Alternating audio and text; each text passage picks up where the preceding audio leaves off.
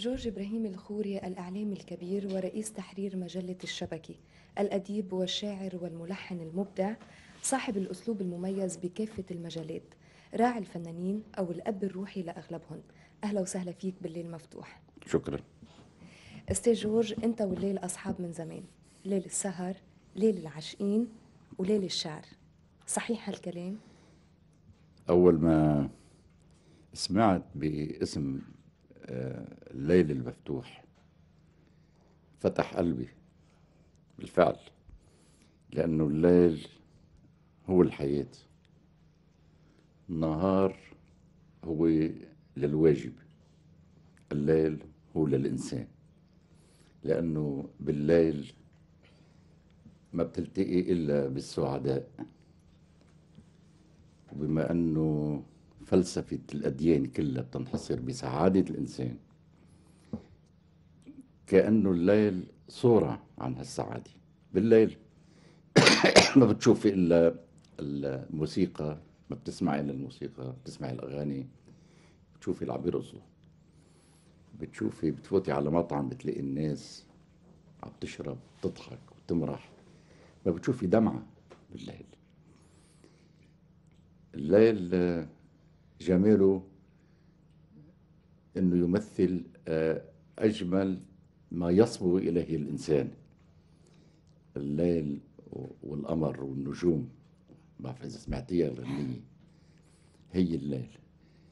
وأنا آه، لفترة طويلة كنت أعتبر نفسي مسؤول عن تسليم الليل للنهار. تصور لي هذا الشيء. بقى أنا سعيد جدا إني أكون معكم الليلة بالليل المفتوح. أهلا وسهلا. أهلا بكم. أستاذ جورج لا يمكن الحديث عن الفن بلبنان من دون التوقف عن جورج إبراهيم الخوري عميد الصحافة الفنية. من موقعكم الإعلامي وين الفن اليوم بلبنان؟ الفن الغنائي. يا ستي لكل زمان دولة ورجال ولكل زمان فنون ومطربون.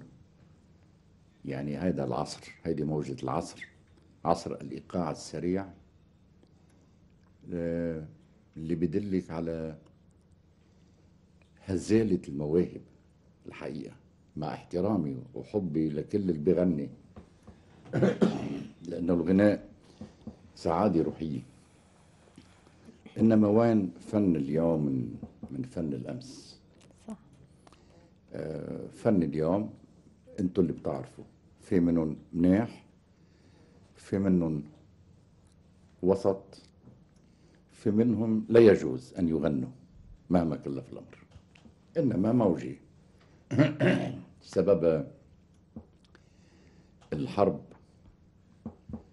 آه، اللي أنا بعتبرها مش الحرب اللبنانية مثل ما بيقولوا لا أنا بعتبرها حرب الغرباء على أرض لبنان لأنه اللبناني مش بيحب أخوه اللبناني يعشق الحياة مع أخوه اللبناني.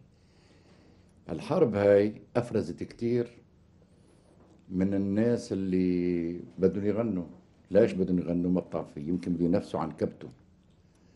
بده يغني بيعمل غنية بيعمل لحن بيعمل شعر اللي بدك إياه بفوتوا بفوتوا على الإذاعات الطالعة الجديدة بيفرضوا عليها فرض إنها تنزرع لهم أغانيهم. آه، ومشيت مشيت وأثارها لا تزال موجودة حتى اليوم. طبعا تغربل منها كتير من الأغاني ومن المغنيين.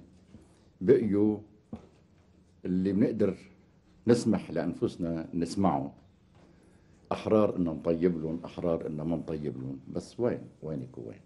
وين ال- ال- الفرق بين مغنين اليوم ومغنين الأمس؟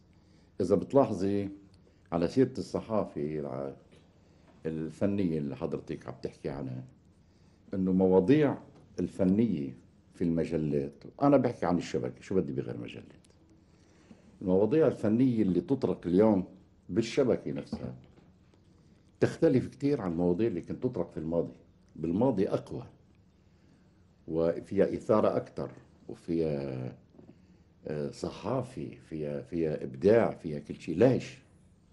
لأنه الفنان اليوم غير فنان الأمس. لما بدي أكتب أنا عن عبد الوهاب بدي أبدع. بدي أكتب عن أم كلثوم بدي أبدع. بدي أكتب عن فريد الأطرش كذلك الأمر. كانوا عمالقه بتكتبي عنهم بمنتهى اللذه ومنتهى النشوه ومنتهى ال- الإعجاب بالذات وبالقلم. كانوا يفتحوا لك آفاق للإبداع. هالفنانين الكبار. طب اليوم عم مين بدك تكتبي؟ هيك تشوف. لسبب خف ميزان الإبداع في الصحافة الفنية. وبحكي عن نفسي أنا ما بحكي عن غيري على الإطلاق. أنا بحترم الجميع وكلهم إخوان وكلهم زملاء. هذا الفرق بين الفن اليوم والفن في الامس أستاذ جورج تاكيدا على اللي حضرتك عم بتقوله يعني لبنان عرف فيه المطربين عهد ذهبي بالسبعينات. وحضرتك واكبت آه، أقطار فنية عربية ولبنانية. في اليوم آه، فنانين جداد مطربين جداد إذا بدك. يبدو إنه ح- إنه قلمك معجب بالبعض. يعني إحنا بنشوف مرات عم تكتب عن البعض يمكن تشجيعا أو اعجابا آه، أكيد. بس الصورة العامة بعدها إنه هول العالم آه، أقل وضوح أقل تألق من قبل. فشو السبب؟ يعني حضرتك بتقول الزمن السريع يعني. شو السبب؟ إنه بعد ما وضحوا وتألقوا مثل من زمان. السبب إنه ما عندهم المواهب نفسها اللي كانت عند المواهب زمان. الأصوات محدودة جدا. سمعتي كيف؟ آه الشعراء محدودين صاروا. الملحنين محدودين.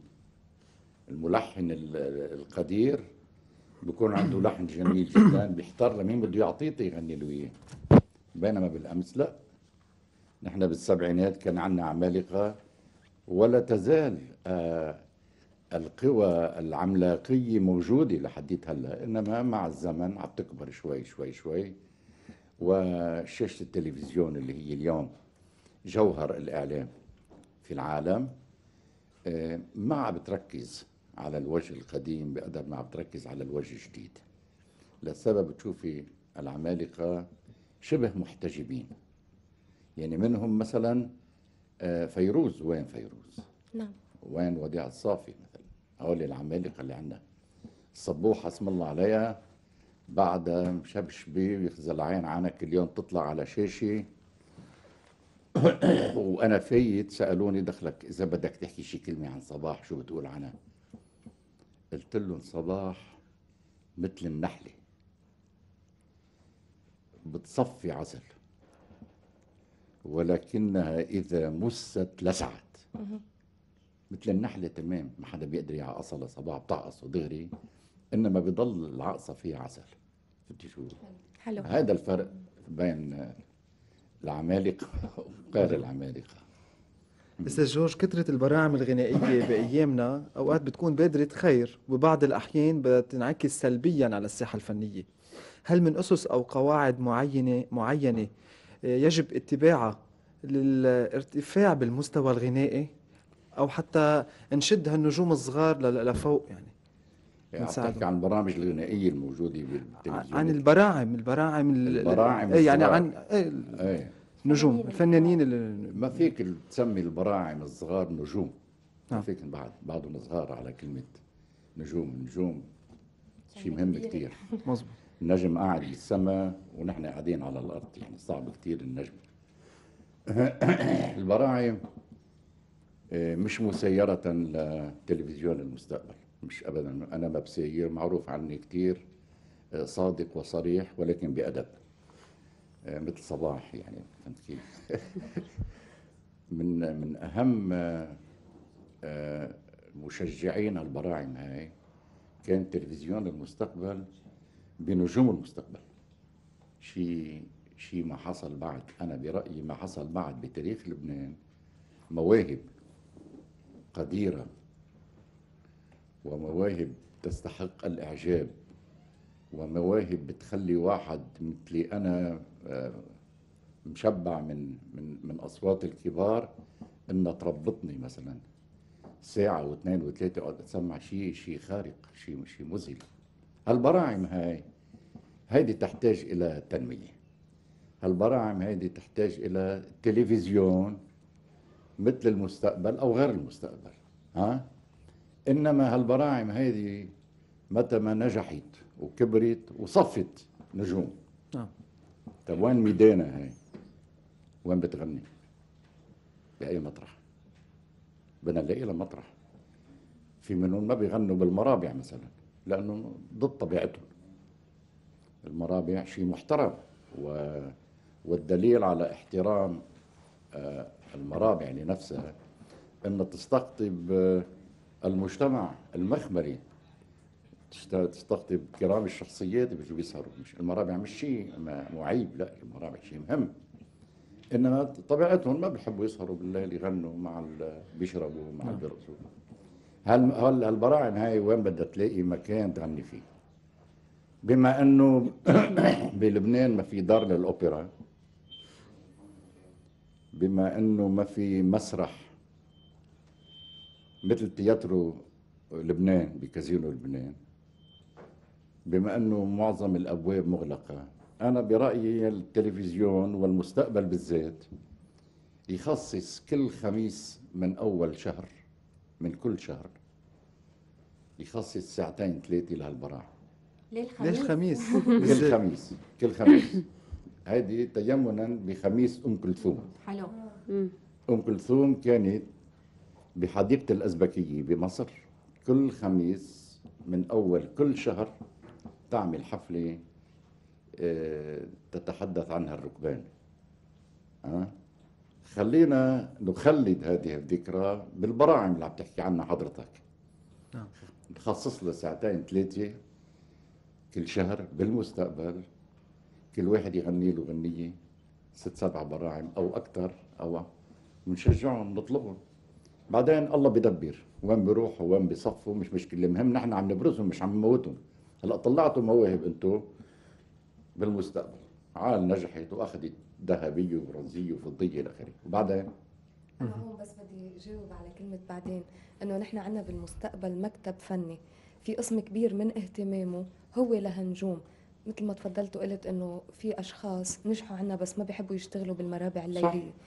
والدليل إنه مثلا هلأ نحن pro عنا promotion على شاشة المستقبل غابة الشبانية ليالي الشرق الشرق حلو. اللي قايم فيه لهيدا المهرجان قسم من نجوم المستقبل. حلو. وكل إنسان مطرح ما بيهوى. من براعم المستقبل. إيه، تفضل. عنا إيه تفضل. مطرح ما بيحب عم يشتغل بس هيدي إجابة كتير متواضعة ل- آه، لسؤالك عظيم وبعدين. عظيم عظيم. هذه رسالة من رسالة آه، تلفزيون للمستقبل. نعم. على كل أستاذ جورج بما إنه حكيت ايجابيا وبرأي صريح عن نجوم المستقبل شو رأيك نسمع أغنية للهاوي يوسف المصري لأغنية للأستاذ الكبير الموسيقار محمد عبد الوهاب؟ يا ريت. وبعدها بنعود لنتابع طبعا يا ريت الحديث يا ريت.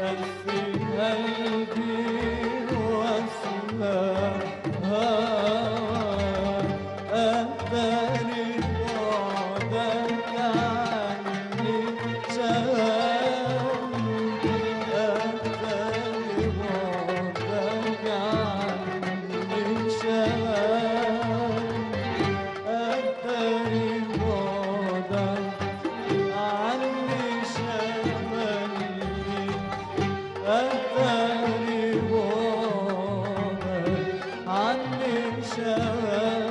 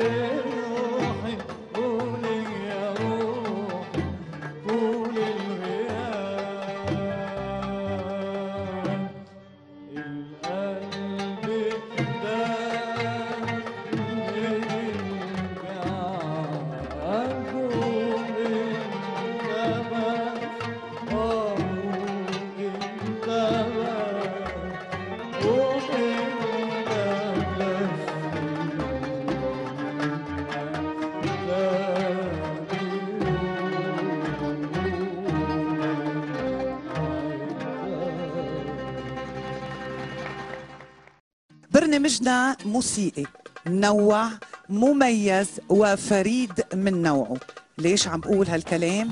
لأنه للحقيقة ببرنامج إيقاع رح ندخل نحن وياكم إلى المكتبة الموسيقية الكبيرة بضمن الأغاني اللبنانية والأغاني الخليجية والمصرية لنكشف آه، آه، عن الأغاني اللي شوي نسيناها وبعدها ببالنا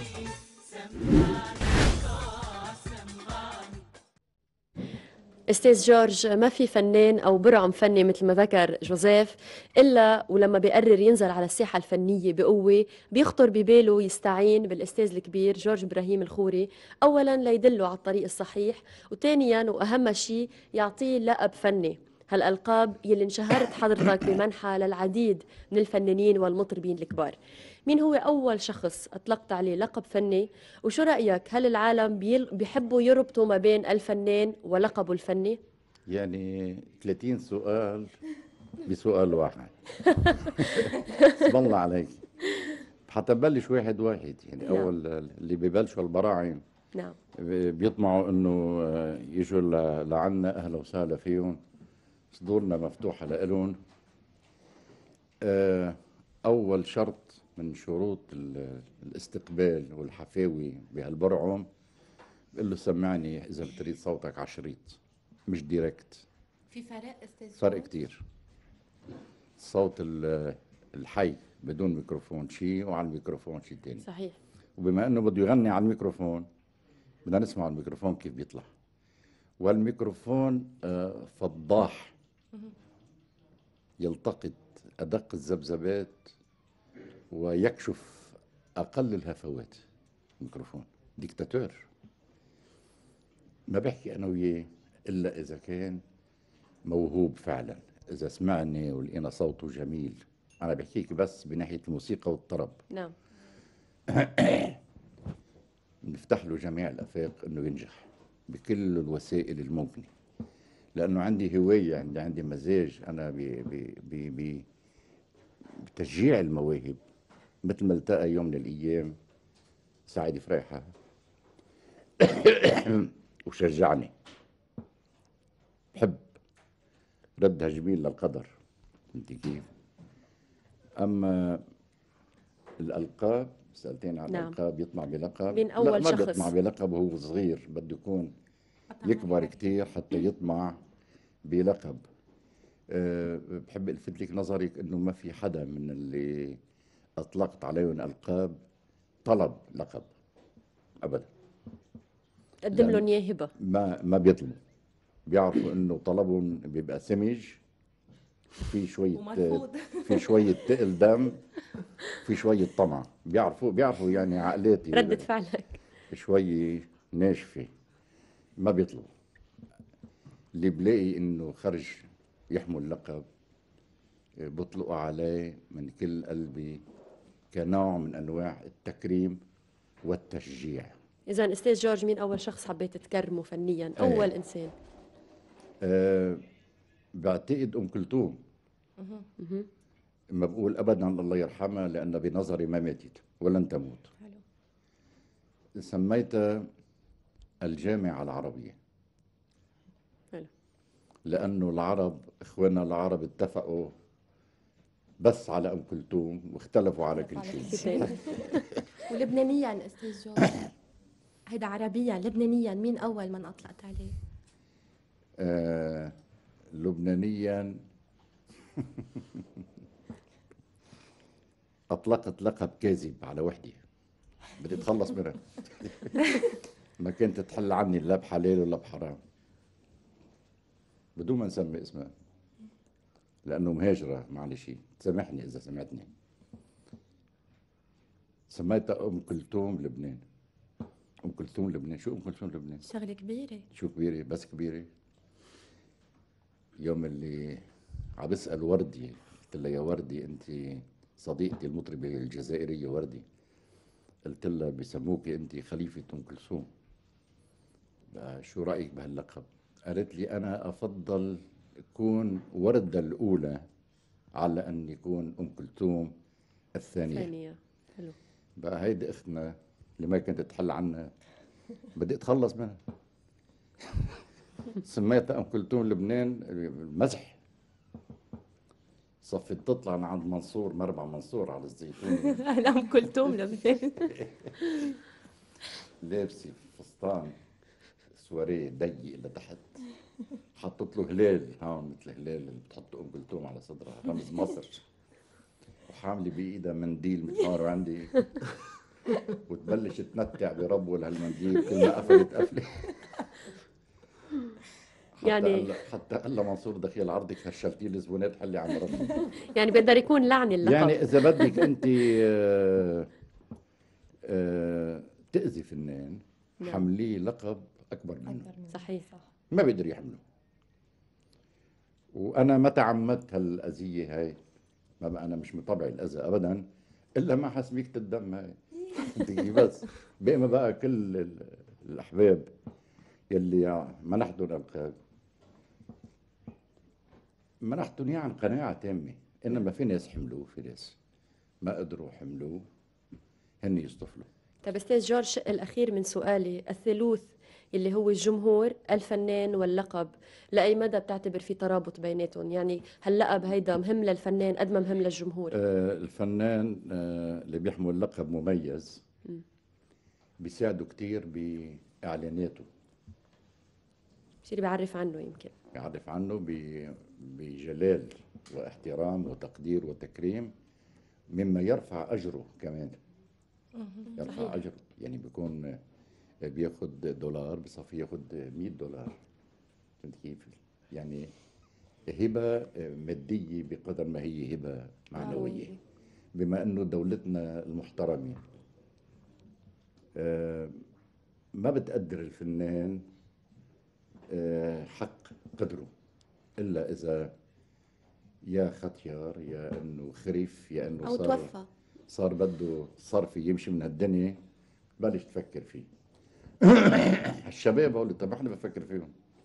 ما حدا بفكر يعطي هالشباب نشان إذا بتلاقي بتلاحظي إنه كل اللي تكرموا من أهل الفن أهل الفن الكبار كلهم ضربوا السبعين وبالطالع طب هالشباب هول عم يغنوا أحسن من الكبار مزبوط في عنا مواهب رائعة جدا. هيدي ليش ليش ما بتتكرم مثلا ها؟ بيجي هاللقب كنوع من أنواع التكريم تقدمه دار الصياد باسم مجلة الشبكة لفنان معين. هذا بيساعده اللقب. الجمهور آه، نادرا ما أنكر لقب على فنان. كلهم حبوا احبوا الألقاب اللي أطلقوا عليها. وهذا شيء بيعزيني أنا شخصيا. أستاذ جورج بس شغلة أخيرة عن الألقاب.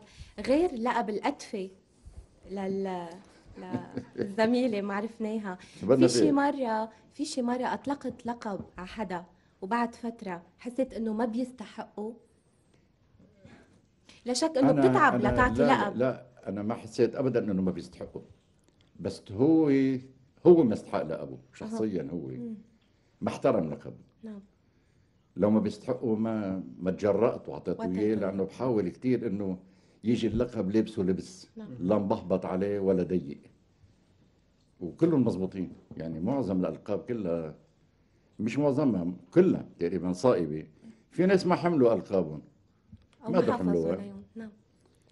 هن هن بيتحملوا مسؤولية سقوطهم مشان أكيد. أستاذ جورج على سيرة العمالقة الفنيين اللي كنا عم نحكي عنهم من شوي. أي نعم. شو رأيك هلأ نتوقف نحن وياك بمحطة غنائي غنائية للموسيقار الكبير الراحل محمد عبد الوهاب؟ بتقولي الراحل دخيلك لأنه لم يرحل خالد. الموسيقار الراحل بس الخالد بقلوبنا إيه على رأسي وعيني. كون ممنونك. إبراهيم الخوري الإعلامي الكبير اللي رافق الصحافة الفنية منذ أقل من نصف قرن. وبعده عم بيواكبها وبعده عطاؤه مستمر فيها هلأ.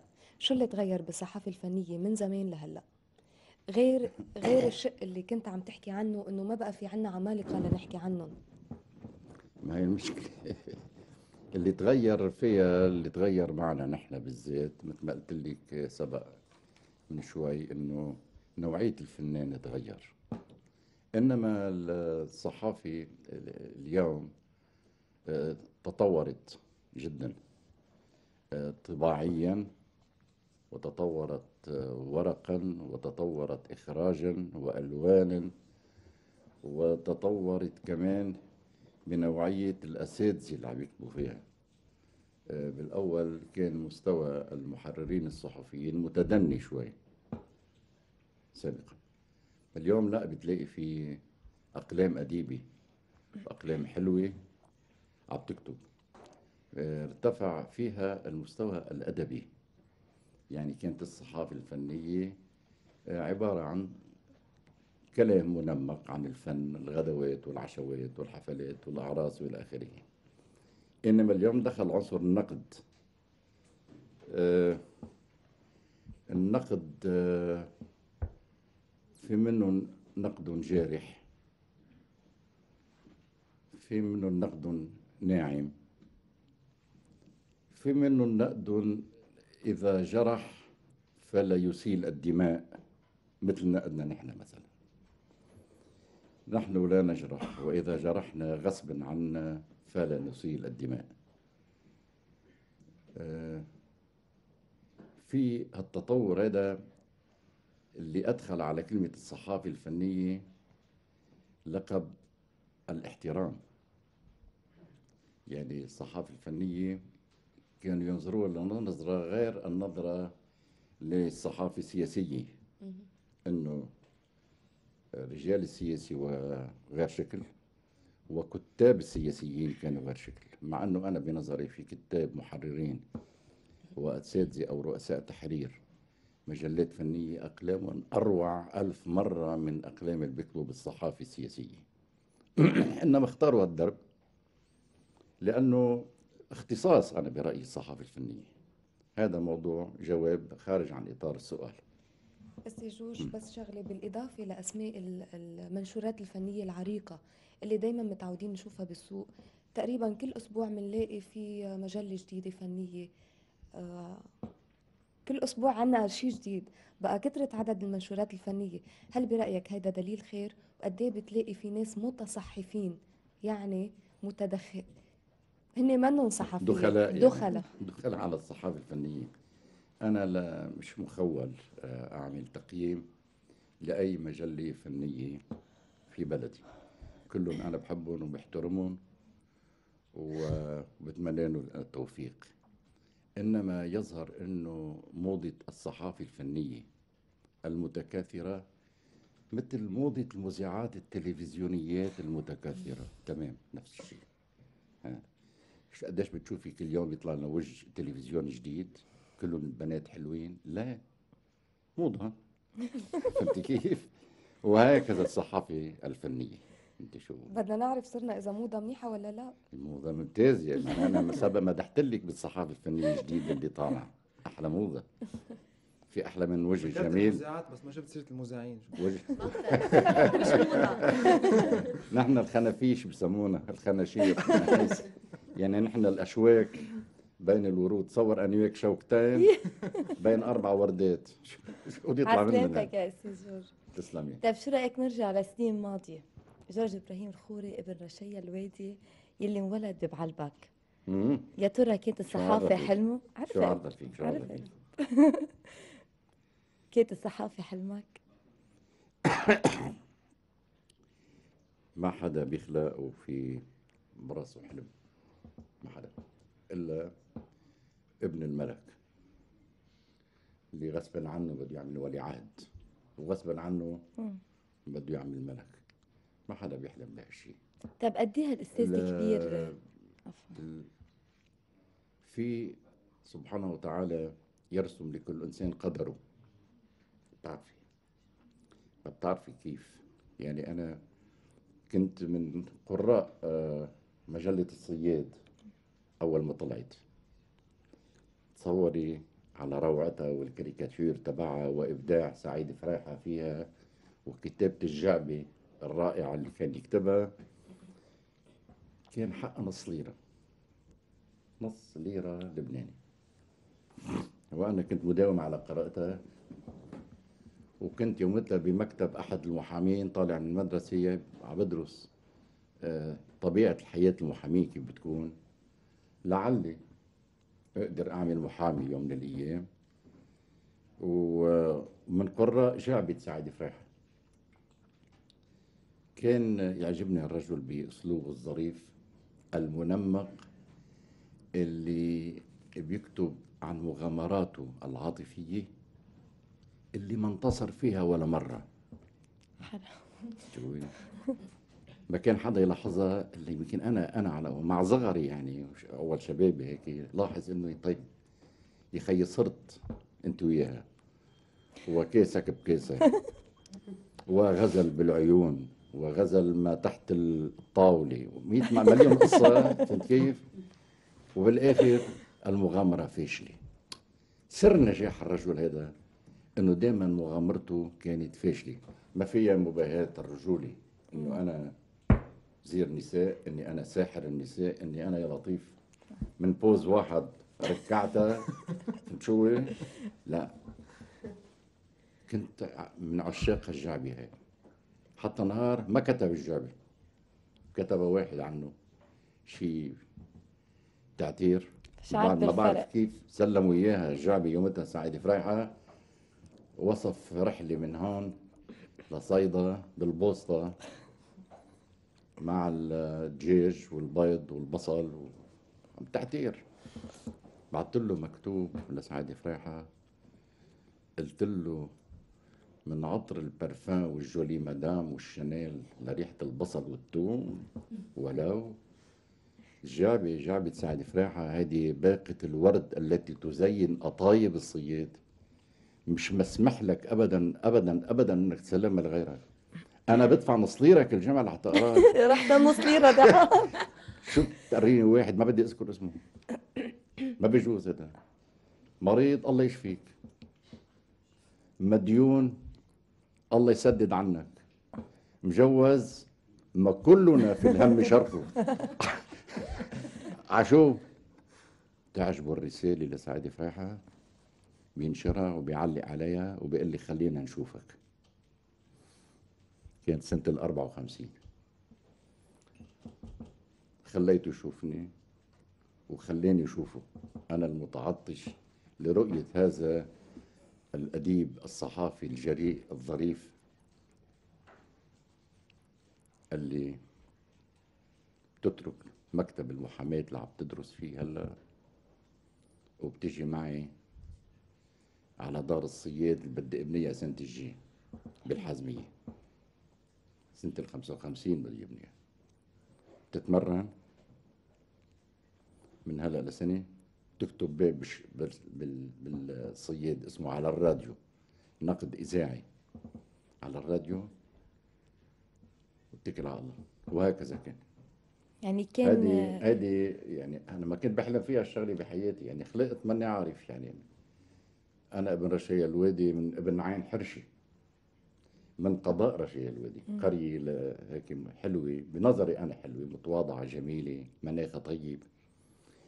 إنما آه، بيي كان في سلك الدرك وكان لامع في سلكه آه، بينتقلوا من مطرح لمطرح عادة. انتقل يومتها على رأس بعلبك بحكم وظيفته لأنه كان هو في سلك الدرك على أيام الانتداب الفرنسي قبل ال 39 قبل الحرب العالمية الثانية. وفي رأس بعلبك.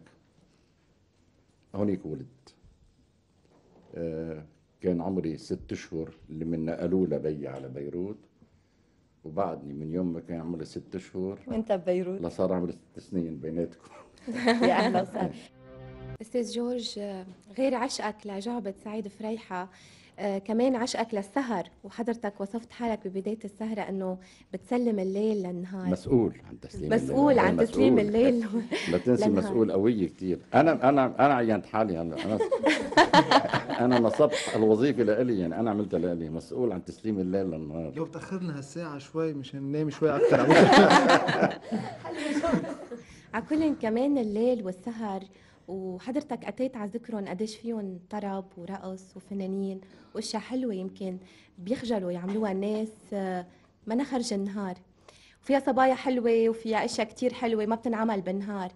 فاللي بدي أسألك إياه آه، إذا بدنا نجرب نفوت شوي على العيلة وجو العيلة. أهلا وسهلا فيكي فكيف بتطفي نار الغيرة بالبيت إذا آه، بيطال الغيرة هيك مواضيع وهيك حب لليل يعني وأجواءه بتعرفي مهما تكن الزوجة عاقلة بتضل المرأة مرأة على الدوام. بتختلف يعني.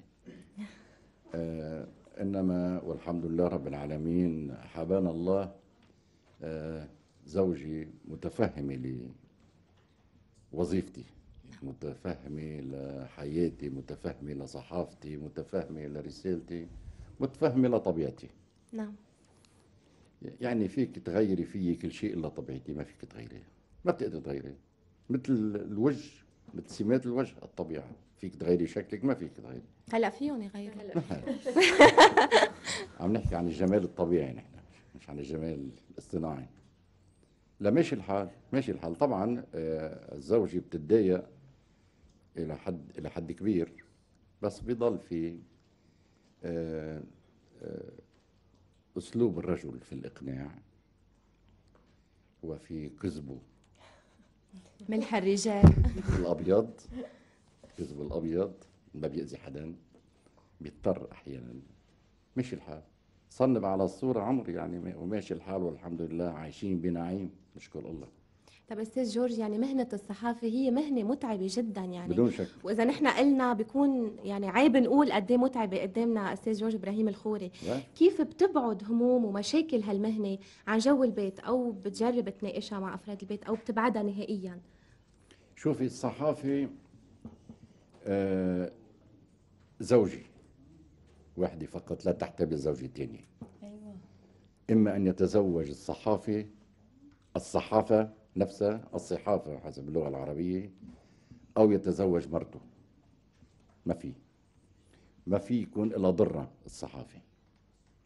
حتى تنجح الصحافة بده تكون الضرة عاقلة جدا. وإذا كان ال- الضرة مش عاقلة أبدا مش ممكن توفر له للصحافة النجاح. مش ممكن أبدا. بد- بده يشق طريقه الواحد بنجاح بده يشق طريقه بحرية. الصحافة آه، مثل الفن. والفنان أنا برأيي والفنان المسرحي بالذات الغنائي المسرحي بالذات أنا برأيي ما لازم يتجوز على الإطلاق. لأنه الفن حرية والزواج قيد. والدليل إنه ما من فنان تزوج في هذا الشرق السعيد. اكتملت إلا ما طلق وتزوج مرة تانية. وبنعطي على ذلك مثلين. آه، مثل آه، مصري ومثل لبناني. آه، عبد الوهاب مثلا تزوج إقبال نصار سيدي فاضلة بنتازي رحمة الله عليها اللي أنجبت له إش إش وفتفت وتمتم ومحمد وأحمد. ما في منهم واحد عمل فنان ها، أبدا على الإطلاق. والمثل اللبناني راغب علامي مثلا تزوج مرة رجع تزوج تاني مرة جيهان العلي. طيب ليش؟ ليه؟ لأنه هذا هذا طبيعة الفنان. وكل ما أرجوه أنه ما في فنان تزوج تاني مرة يرجع يتزوج ثالث مرة. عفوا أستاذ جورج بس بالنسبة للأستاذ عبد الوهاب يعني توفت مدامته بده يتزوج. بالنسبة لراغب علامه كان في مشاكل شخصية عائلية؟ لا حبيبتي ما عبد الوهاب ما طلقها بعد ما ماتت. طلقها طلقها. حية ترزق.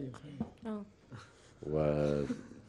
وبكامل قواها العقلية والحمد لله بكامل نشاطها الفكري وغير الفكري كانت إنما عبد الوهاب أحب السيد النهلة القدسي حب النهلة القدسي. كانت زوجة سفير عربي سابق. وجد أنه المرأة هاي خلق خلقت لتكون زوجة فنان وزوجة محمد عبد الوهاب بالذات. بما أنه العملاق هذا اللي اسمه عبد الوهاب عنده فن قبل كل شيء. بعد بعد سبحانه وتعالى اللي خلقه. فنه قبل كل شيء. اختار نهلة القدسي وأمضى آخر أيامه معها هي أنت كيف؟ يعني الفنان لما بده يتجوز بده يفتش عن زوجة فدائية بكل معنى الكلمة. زوجة تفهمه.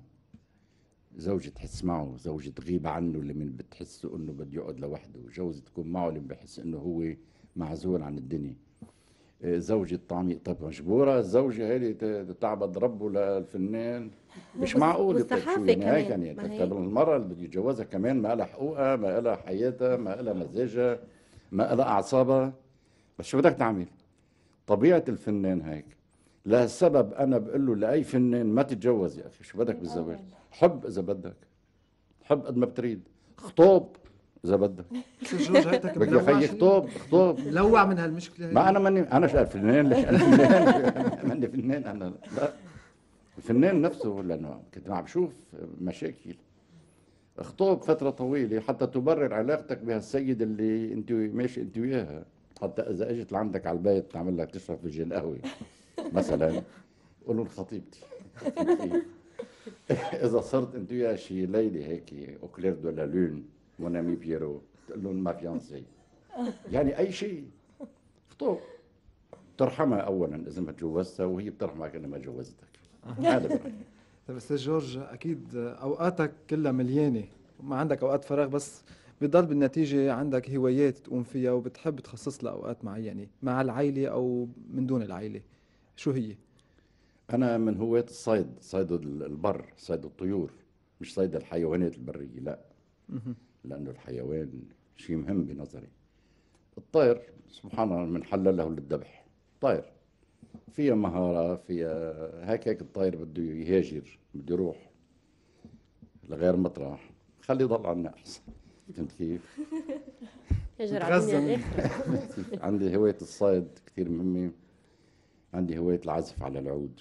بيني بس كون بيني وبين نفسي قاعد. لوحدي بهالشاليه على البحر أنا والعود دندن آه تقاسيم أغاني عبد الوهاب. أحيانا بيطلع معي لحن. أحيانا بيطلع معي شعر. أحيانا يعني هذه هذه الهوايات الهوايات اللي اللي كلها ضمن إطار الصحافي ما تفتكر إنه الصيد بعيد عن الشبكة؟ هي بدار ما الصياد. هو الصيد ودار الصياد والشبكة والعود بيعود بالخير على الموسيقى والفن. هاي هوايتنا الحقيقية. أستاذ جورج ذكرت بالأول إنه ما في شخص بيولد معه حلم. ما بتعتقد إنه يلي بيولد ابن صحفي وكاتب كبير وعملاق بحجم حضرتك. ما بيولد كمان غصب عنه عنده حلم إنه يمكن يكون مثل بيو. بهالمناسبة بذكر بسام وجرازيل لأولادك. هل هن أي. عم بيحاولوا يغرفوا من ينبوعك الفكري والأدبي أم بعاد جدا عن هالجو؟ والله جرازييلا اللي هي قبل بسام خلت نعم. قبل بسام. آه، جرازييلا مارست الصحافي مارست آه، الصحافة ال- العربية بالشبكة. كانت تكتب الصفحة الأخيرة بعنوان على ورق الورد. نعم. وبدعت فيها. يعني يوم اللي آه، كنا عايشين أيام الحرب كتبت قطعة عن بيروت. آه، بتبكي. فظيعة كانت كتير حلوة. نقلوها حتى بأمريكا. بعدين مارست الصحافة الفرنسية بال Revue du Liban تكتب بالفرنسي من أعلى طبقة. كانت هوايتها إنه تكتب تحقيقات عن مشاهير ال- العرب ملوك ورؤساء وإلى آخره. عندها تحقيقات مهمة. إنما لمن تزوجت انصرفت لجوزها. انصرفت لبيتها انصرفت لأولادها وهذا كان أنا آه، نصيحتي لها. خصوصا وبسام؟ إنه جوزها آه، طبيب. ما بعرف إذا تسمعوا فيه الدكتور جو سويدان الدكتور جو سويدان gynécologue ومشهور كتير معروف شاب طيب. فقلت لها جوزك ولادك بالمستقبل أهم من الشغل. هيدي الشغله المهمة الأولى والأخيرة بالنسبة للمرأة بنظري. إنما كتابة هيك قصص يمكن تنبع من الذات منا بحاجة لتفرغ كلي. كان فيها تكون زوجة وربة منزل إضافة لكتابات بتنبع من ذاتها. إيه يعني ما في وقت. أنا برأيي ما في وقت. نعم. يعني أنا مش عم بشجع المرأة تتزوج ان تشتغل هي حره في ظروف معينة. آه، قد تلزم الزوجة إنها تشتغل. معلش الشغل رائع الشغل ممتاز. إنما أنا بعتقد ال- التفرغ للحياة المنزلية بالنسبة للمرأة المتزوجة أولوية. أفضل ألف مرة من التفرغ للحياة العملية خارج إطار البيت. البيت بده مسؤولية. الزوج بده رعاية بده اهتمام. ال- الاولاد بدهم تربية. طب ما في ما فيها تلحق. هون وهون وهون وهون. لا ما أنا مضطر للدين الاعوج كله. تقعد ببيت أحسن. أنا اللي بقول. بالنسبة لي أنا. بالنسبة للآخرين كل واحد حر. طبعا. جورج إبراهيم الخوري الأديب والصحافي والفنان بيقدر بيقول عن حاله كمان إنه زوج مثالي؟ زوج مثالي يا ريت. يعني أنا سعيد كثير بحياتي يكون زوج مثالي. كثير بسعى تسعى إنما إذا ما كنت زوج مثالي كما يجب أن يكون الزوج فأنا على الأقل أب مثالي. أحسنت جدا تربية الولدين اللي عندي والحمد لله اثنيناتهم توفقوا. بسام ابني ما حب يحترف آه، شغلة بيو اللي هي متعبة كان يشوفني. قديش أتعب بالكتابة بالليل والنهار اختار ميدان الإعلانات اللي هو قريب. قريب كتير من من الصحافة يعني آه، أسس شركة إعلانات اسمها تاتش معروف. إيه عم بيشتغل فيها وهو صاحبها والحمد لله ماشي حاله. على كل أستاذ جورج كل اللي بيعرفوا عطائك بيعرفوا إنه العيلة بتاخد حيز كبير منه. بدون شك. آه، عندك رسالة وجهتها لبنتك ليلة زفافة سجلت حدث مميز بتاريخ الاعتراف بأدب الاعتراف. شو رأيك نسمعها سوا؟ هلا. مثل ما تريدوا.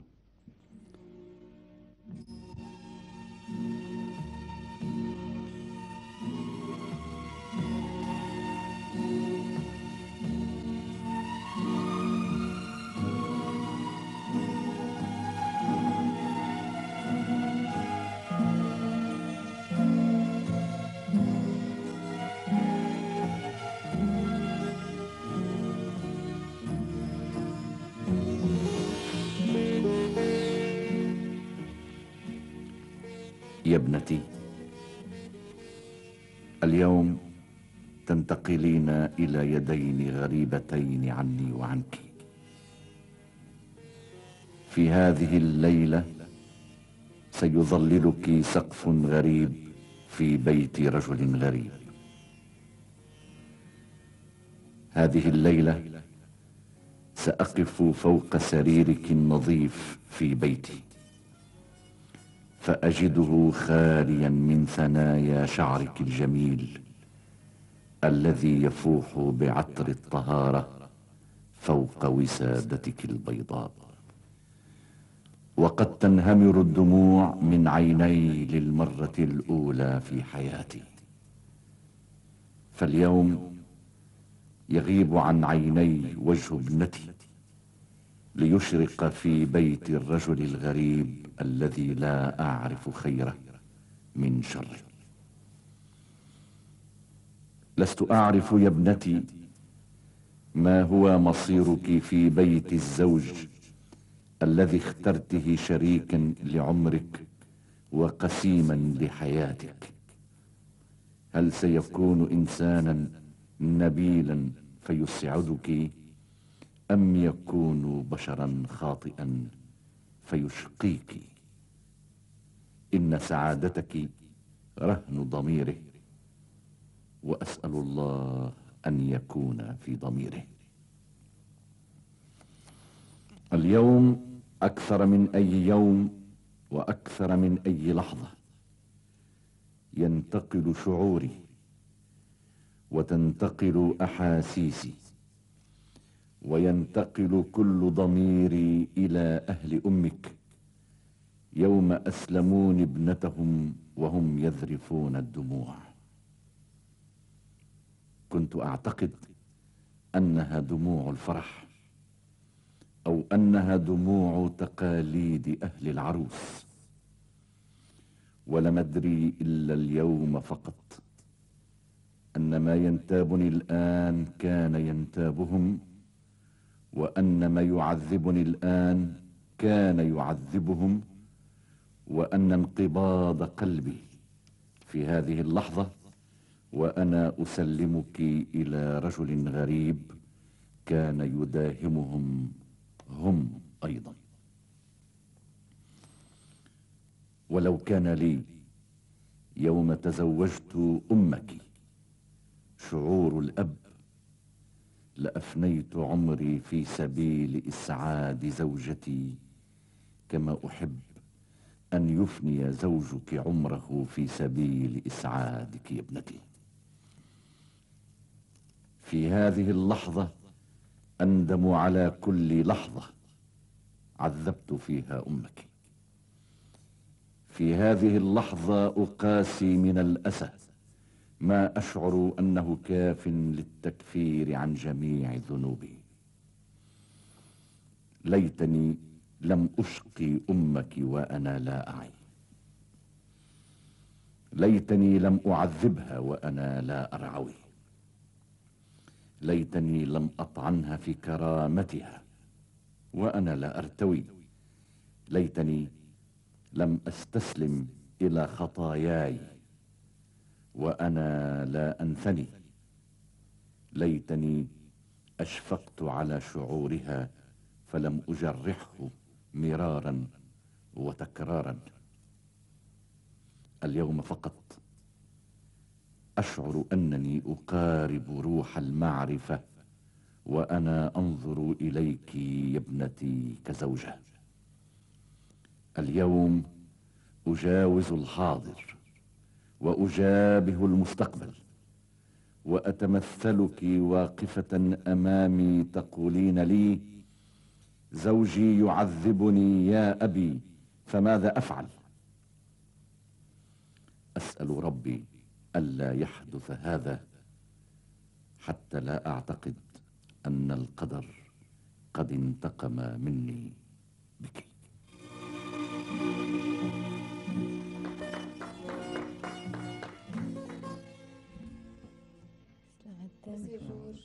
شعورك بعد ما سمعت هالرسالة؟ نعم شو تفضلتين شو شعورك بعد ما سمعت هالرسالة؟ شعوري إنه الرسالة تسلمتها بنتي بأمانة تسلمتها بأمانة هذا شعوري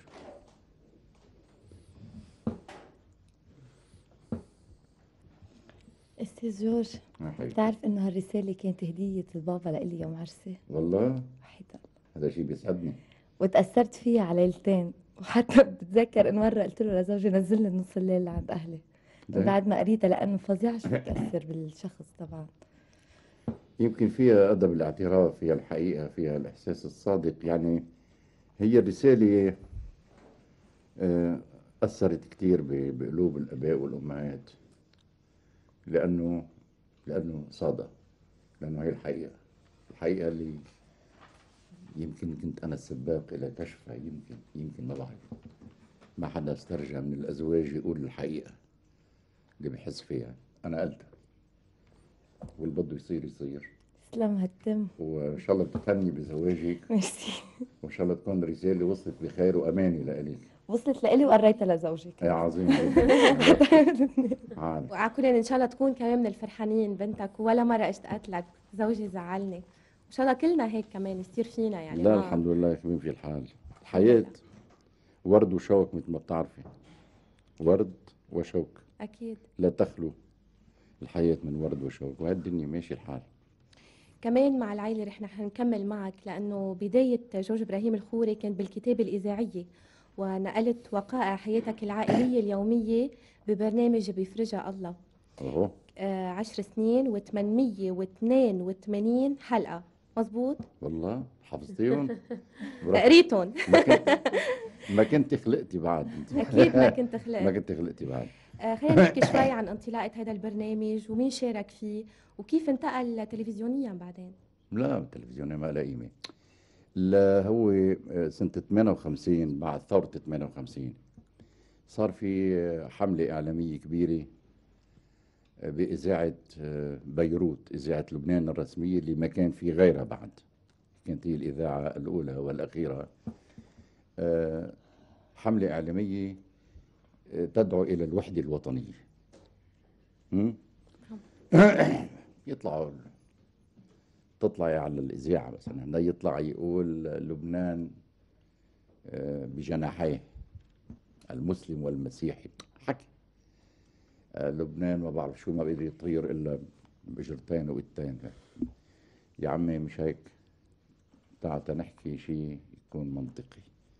زوج وزوجي لبنانيين عندهم ولدين زيزي وبسام يعني جرازييلا وبسام. عايشين ببيت لا فراق فيه ولا طلاق. ما في. محكوم مؤبد. بدك تعيش بهالبيت. هذا بدك تعالجي أمورك بالتي هي أحسن بالصبر والأنات. ونعمل منه برنامج عشر دقايق. نحكيه كل يوم على بكرة. سبعة ونص لثمانية بتكون الأذان بعدها عذراء. تتقبل وتستقبل وتحسن السمع. وجعلت منه آه، اسم اسمه بيفرجها الله بيفرجها الله. وشعار أعطني بيتا سعيدا وخذ وطنا سعيدا. حلو. هذا كان شعاره.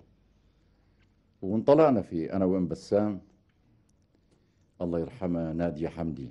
نادية حمدي آه، كانت آه، ذات صوت أنوثي خطير.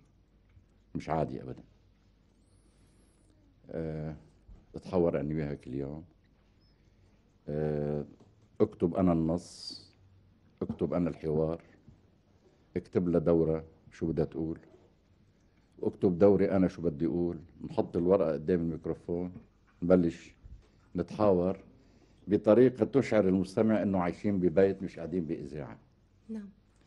آه، في كان انسجام قوي كتير بين صوت الرجل وصوت المرأة. حتى عبد الوهاب مرة لمن آه، نزل ضيف على هالبرنامج هذا وسمع صوتي وصوت أم بسام.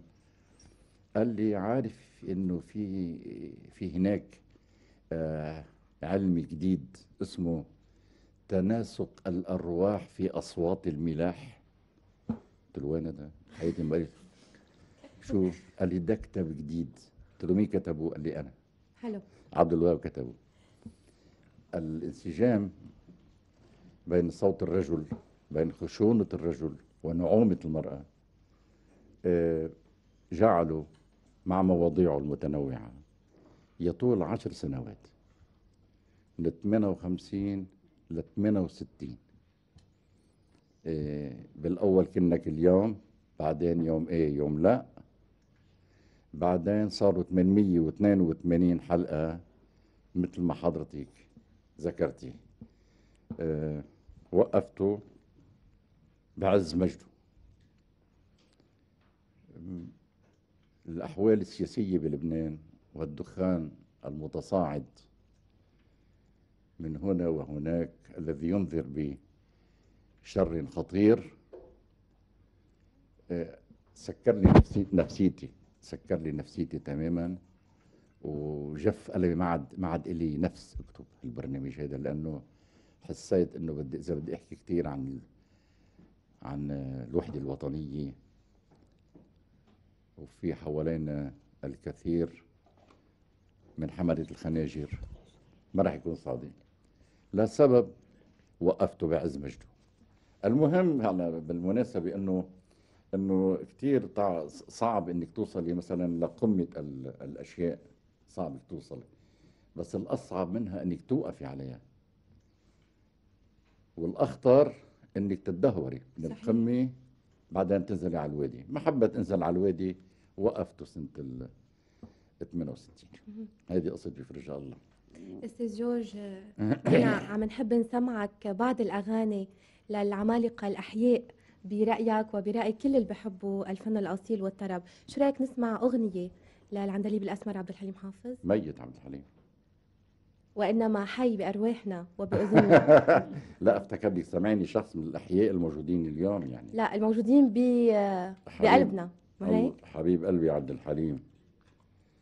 يعني يسعدني إني اسمع يلا نسمع سوا أستاذ جورج إبراهيم الخوري قديش الفنان اللبناني بالوقت الحاضر بحاجة لرعايه وضمانات؟ ومن شوي حضرتك حكيت عن تكريم الفنان الشاب. نحن ما نسألك كيف لازم نكرم الفنان الكبير؟ كيف من مين لازم يتكرم؟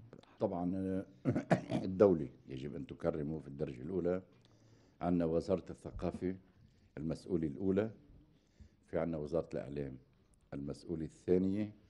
عندنا وزارة السياحة المسؤولة الثالثة وعندنا الهرم هو فخامة رئيس الجمهورية. ثلاثتهم الوزارات بإرشاد وبأمر من رئيس الجمهورية يجب أن تكرموا المتفوقين اللبنانيين اللي خدموا وطنهم بالفعل مش بالقول بالفعل وتسمعوهم رثاءهم في آذانهم.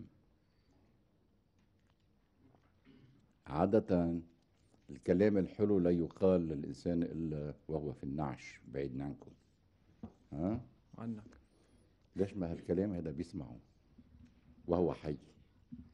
أنا ال- الوسام اللي بدي علقه على صدر الفنان الكبير بحب علقه على صدره وهو حي بس ما بحب علقه على نعشه وهو مات. كله هذا كله هذا تكريم معنوي. نعم. إنما يجب أن يقترن بالتكريم المادي. التكريم المادي لا يقل ثروي عن التكريم المعنوي. آه، الدولة مع مصاري مثلا تخلع على فنان خدم أو أديب أو صحافي أو ح- أو إن شاء الله بصير عمرك كذا أنت كمان. كل متفوق. مع مصاري تدفع. ال- الدولة أغنى بكتير مما نتصور جميعا. المخزون الذهبي الموجود في البنك المركزي أكبر ضمانة للبنان ما تخافوا على لبنان. لبنان إذا ما تدين منه بحاجة إنه يتدين تصور. بس إذا حبينا نغطي السماوات بالأبوات ونقول عم نتدين. ماشي الحال. تدينوا لكم شي شي 100 مليون دولار معلش واعطوهم للفنانين ما بصير شيء أستاذ جورج. عفوا بس بدي اساله كمان لأستاذ جورج ماجدة عن الضمانات والرعاية اللي لازم يكون خلال المسيرة الفنية لل- للفنان الموجود. البركة بنقابة الفنانين المحترفين. البركة بنقابة نقابة الفنانين المحترفين التي تسعى إلى هذا إلى هذا إلى هذا الضمان المستقبل قريب. بنشوف إشياء كتير أخبار حلوة. إن شاء الله. بس أنا عم بحكي عن الفنان اللي بده يتكرم مش بس معنويا وثلاث أربع كلمات من معالي الوزير. كمان أعطوه. يعني بهالأشياء اللي أكثر اخلعوا عليه من المال ما يكفيه لأن يكون مكرما وغير ذليل. أذل شيء بالدنيا السؤال. أنا ما بسمح للفنان يمد إيده تا- حتى يعيش. يعني هذه الأشياء الملموسة أستاذ جورج اللي عم تحكي عنها جسدت بفكرة حضرتك ابتكرتها من حوالي 20 سنة وطرحتها وهي عيد الفنان. إيه نعم. هالفكرة كثير من الأشخاص حاولوا يسخروها لنفسهم إيه. ويعتبروا إنه هن يلي آه انطلقوا فيها. شو كان ردك على عيد الفنان يلي حضرتك طلعت فيه وحاول البعض يحوروا أو يجيروا لنفسه؟ حلو سؤالك وجاي بوقته وكل ما أرجوه إنه ما حدا يفكر إني أنا اللي كلفتك تطرح علي السؤال أنا الحقيقة صدقيني إني فوجئت بهالسؤال ما كنت متوقعه أبدا. أما لحقتي وطرحتيه فليكن آه، عيد الفنان آه، بكل بساطة ابتكرته مجلة الشبكة بقلم رئيس تحريرها جورج إبراهيم الخوري سنة 62 أول ما استلمت رئاسة تحرير الشبكة يعني من 34 سنة ناديت بعيد للفنان وظلتني أستمر بهذا النداء إلى أن آه، اجت الحرب توقف أي تكريم خلصت الحرب أو باشرت على النهاية. سنة التسعين عملنا أول حفلة تكريم للفنان بخط شبنية مطرح ما حضرتك عم بتقولي إنه تعالوا مسرح للفنانين. عند آل الحسن أبو الحسن الكرام آه، جماعة فتحوا قلوبهم ل 600 شخص. كلهم كانوا من كبار الفنانين بلبنان واحتفلنا بالعيد. تاني سنة آه، آنسة من بيت الحداد. كذلك الأمر. احتفلت فيه بعدين تزوجت احتفلت بقى بعيدها وبعيد بعيد زوجها وبعيدها في الناس. إيه؟ في ناس هوايتهم انتحال الصفات انتحل صفات. بيعمل حاله تحري وهو مش تحري ليش؟ هيك بحب ينتحل صفات. في ناس آه، حرامية حرامية. يا أخي طيب شو بدك تسرق؟ قديش بتسرق مني؟ ألف دولار. طب ألفين. قال لي لا ما بنبسط فيها ال 2000 بدي اسره حتى أنبسط بالسرعه أحدهم انتحل صفة إنه هو مبتدع قال هو اللي ابتدع الفكرة قال وبلشوا مهدول ومبتكر قال مبتكر فكرة عيد الفنان. لك نعم مبتكر عيد الفنان. شو جابك أنت عيد الفنان. أصلا شو بفهمك بال... شو فهمك بالفنان. ماهية الفن. أصلا بالفنان الفنان الحقيقي شو فهمك فهمك فيه أنت. قال هو اللي ابتكر وهو اللي عمل العيد وهو اللي عمل هيصة السذج من الناس صدقوه بس ال- النبهاء والأذكياء والعارفين والعالمين مثل حضرتك وحضرة الموجودين بيعرفوا الحقيقة شوي أنا ما ما بيهمني مثلا يسرق لي بيتي ما بزعل بس يسرق لي فكرتي قامت لقيامي قامت لقيامي وقامت على على كبير وانتهت بإعادة ال- الحق إلى أصحابه ووزارة الثقافة هي بدها تتبنى القصة وتصدر مرسوم رسمي بمرسوم جمهوري بتوقيع كريم إنه عيد الفنان بنأرخ له يوم كذا صفي عيد رسمي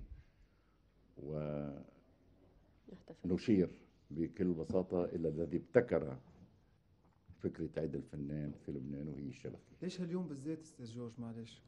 أنا أنا عملته أول لسان. أول لسان. طلعت معي أول لسان انه أول الربيع فهمت شو؟ طلعت بهالفكره مش أول لسان. كذبت. بس هون كذبت دابريل لسان. كذبت لسان. لا. أول لسان طلعت معي. راح غيرنا قال ابتكر 21 ايار يعني فهمت شو؟ بعض ال- الفنانين اللي اشتركوا بعيد الفنان. أنا برثي لحالهم بشفع عليهم عندهم مصالح خاصة آه، منتفعين فيهم منافقين. بدك تسميهم بدك تسميهم سميهم بدك اياه يعملوه إنه إيش؟ إنه منهني فلينان فليتاني على إنه يا لطيف هو ابتكر الفنان. أي ابتكر الفنان. لما سنة 62 عاملين عيد الفنان نحن هلأ بدكم تبتكروا أستاذ جورج على سيرة عيد الفنان شو رأيك هلأ نتوقف نحن وياك مع محطة منشوف فيها آراء عدد من الفنانين بعيد الفنان؟ كويس. آه عيد الفنان بصراحة مهم جدا لأنه الفنان اللي بغني باسم بلده وبحب وطنه بإخلاص أكيد هذا لازم يكرموه ويكون له عيد. وبيني وبينك الفنان كيف ما تقلب إن كان درجة أولى أو عشرة بضل يستحق عيد. آه، الفنان بيستاهل عيد.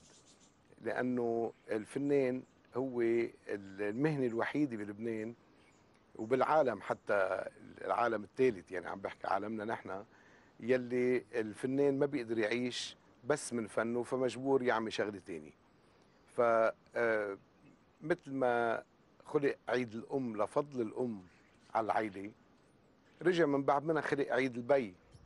آه، ما بعرف ليش خلق عيد البي بس كمان بجوز لأنه بيروح بيشتغل لي- لي- لغذي العائله آه، كمان آه، بالستينات خلق الأستاذ جورج إبراهيم الخوري فكرة إنه نعمل عيد الفنان. ويومتها انعمل بعتقد لفتره معينة. لكن هيدا عيد بده آه، ليستمر. يعني بده رعاية بجوز من الدولة بده رعاية من المسؤولين بده رعاية من آه، من قوى إعلامية قوية. وعلقت الحرب وصارت الظروف هيدي. وحسب معلوماتي المبدئية اللي أكيد غيري عنده معلومات أكتر لأنه بيكونوا أكبر منا وسبقوا واعيين للماضي أكتر. إنه صاحب الفكرة لعيد الفنان الأديب الكبير الأستاذ جورج إبراهيم الخوري. اللي طلع بالفكرة وصار في احتفالات حلوة كتير. أيمتى؟ ما بعرف بالصدق يعني بس الفكرة العامة بعرفها إنه وشاءت الظروف الأمنية والظروف اللي صارت بالبلد إنه هالعيد يتلاشى شوي شوي فكرته وذكرته اللي أنشأها الاستاذ جورج إبراهيم الخوري إلى أن هلأ بالوقت الحاضر رجعنا الحياة رجعت نسبيا على الحياة الطبيعية وبدنا نتذكر عيد الفنان وبدنا نرجع لعيد الفنان وبنرجع للعيد الأساسي اللي هو تبع الاستاذ جورج إبراهيم الخوري. وبتمنى إنه يتكرس مزبوط ويصير سنويا عيد الفنان ويصير نقدر آه، صحيح إنه عيد الفنان هو بحد ذاته الفنان هو عيد للعالم. يعني بمعنى إنه بدي فرح العالم بدي ضحك العالم بدي بدي فرجي لوحاتي للعالم لكل العالم. وبس حلو وقت الاوقات العالم يعطوني حقي كفنان بذكرى إنه عيدك. بس مش أكثر من هيك. أه بتمنى إنه يتكرس هالعيد بتاريخه الأساسي.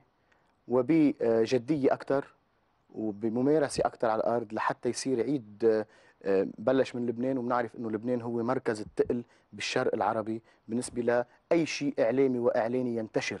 أي فنان بده يجي على على المنطقة بيجي من خلال لبنان لينتشر. إن شاء الله هالعيد بيصير بمصر يعيدوا فيه وبوين ما كان يعيدوا فيه انطلاقا من لبنان وانطلاقا من فكرة آه، حضرة هالأديب الكبير جورج إبراهيم الخوري.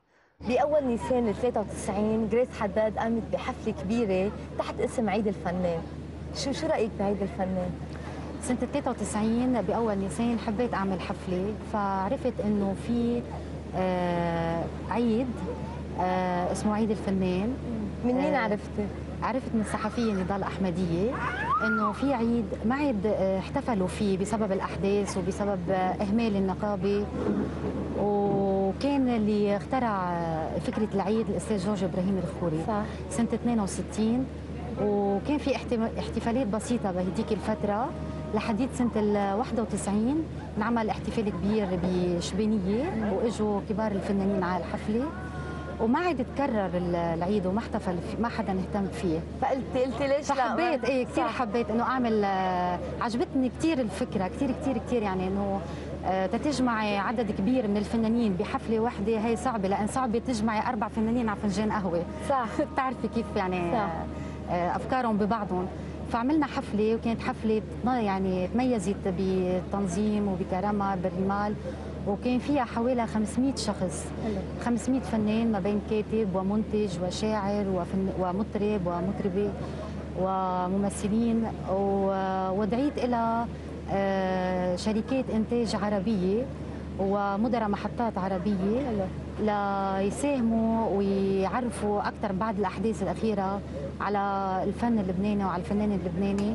آه، حبيت ادعيهم لحتى آه، حسيت إنه هول ممكن يخدموا الفنان اللبناني إنه ما أدعي فنانين آخرين بياخذوا شغل من قدام الفنان اللبناني.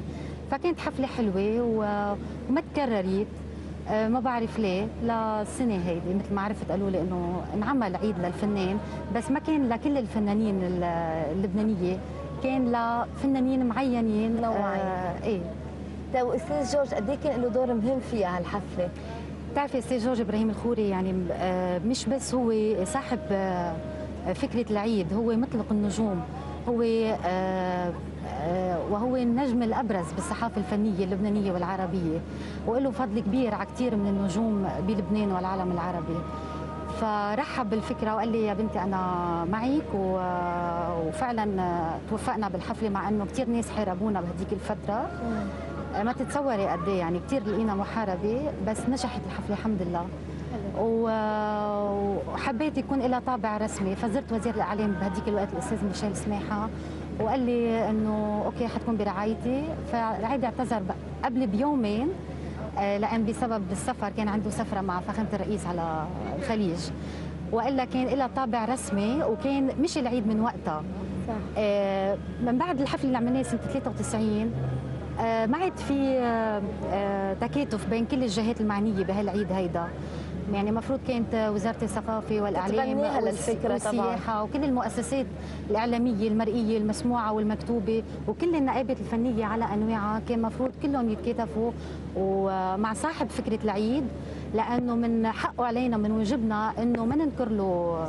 آه، فكرته آه، اللي ابتدت برجع بذكر من سنة 62 مع جورج إبراهيم الخوري اي نعم فكان لازم كلهم يتكاتفوا كل هالجهات وكل هالأشخاص اللي حكيت عنها ويحددوا تاريخ آه، للعيد آه، وي- ويعملوه ويمشوا آه، فيه طبعاً. إيه يرجعوا يعملوا حفلة منظمة ومن أجل خير الفن والفنانين. وأحيي الأشقاء الاحباء ضيوفنا العرب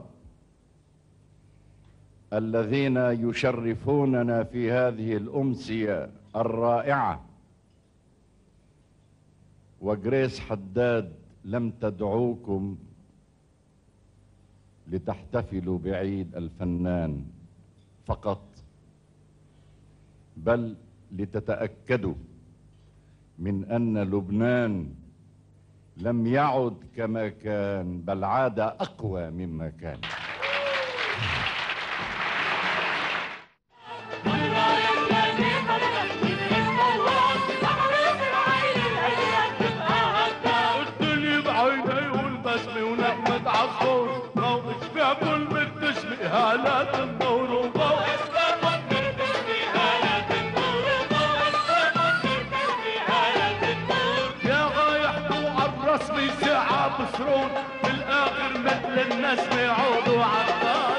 أستاذ جورج قبل ما نرجع لحوار الليل مفتوح بدنا نسألك لمين بتحب تسمع هلأ أغنية لعملاق أو عملاقة من قديم الغناء العربي؟ يعني في عملاقة برأي برأيي غير غير أم كلثوم. أم كلثوم أعظم عملاقة أنجب الشرق. بعد ما سمعنا أم كلثوم آه من الشعر الغنائي اللي غنته أيوة. أي بيت شعري كان أقرب وأجمل لقلبك؟ والله في في في بيت رائع جدا ل أحمد شفيق كامل اللي هو عامل ال- الغنية غنية أمل حياتي.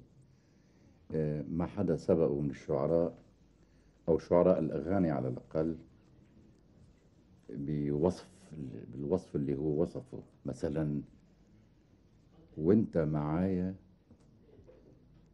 يصعب عليا رمشة عينيا ولا حتى ثانية يصعب عليا ليغيب جمالك ويغيب دلالك ولو شوية.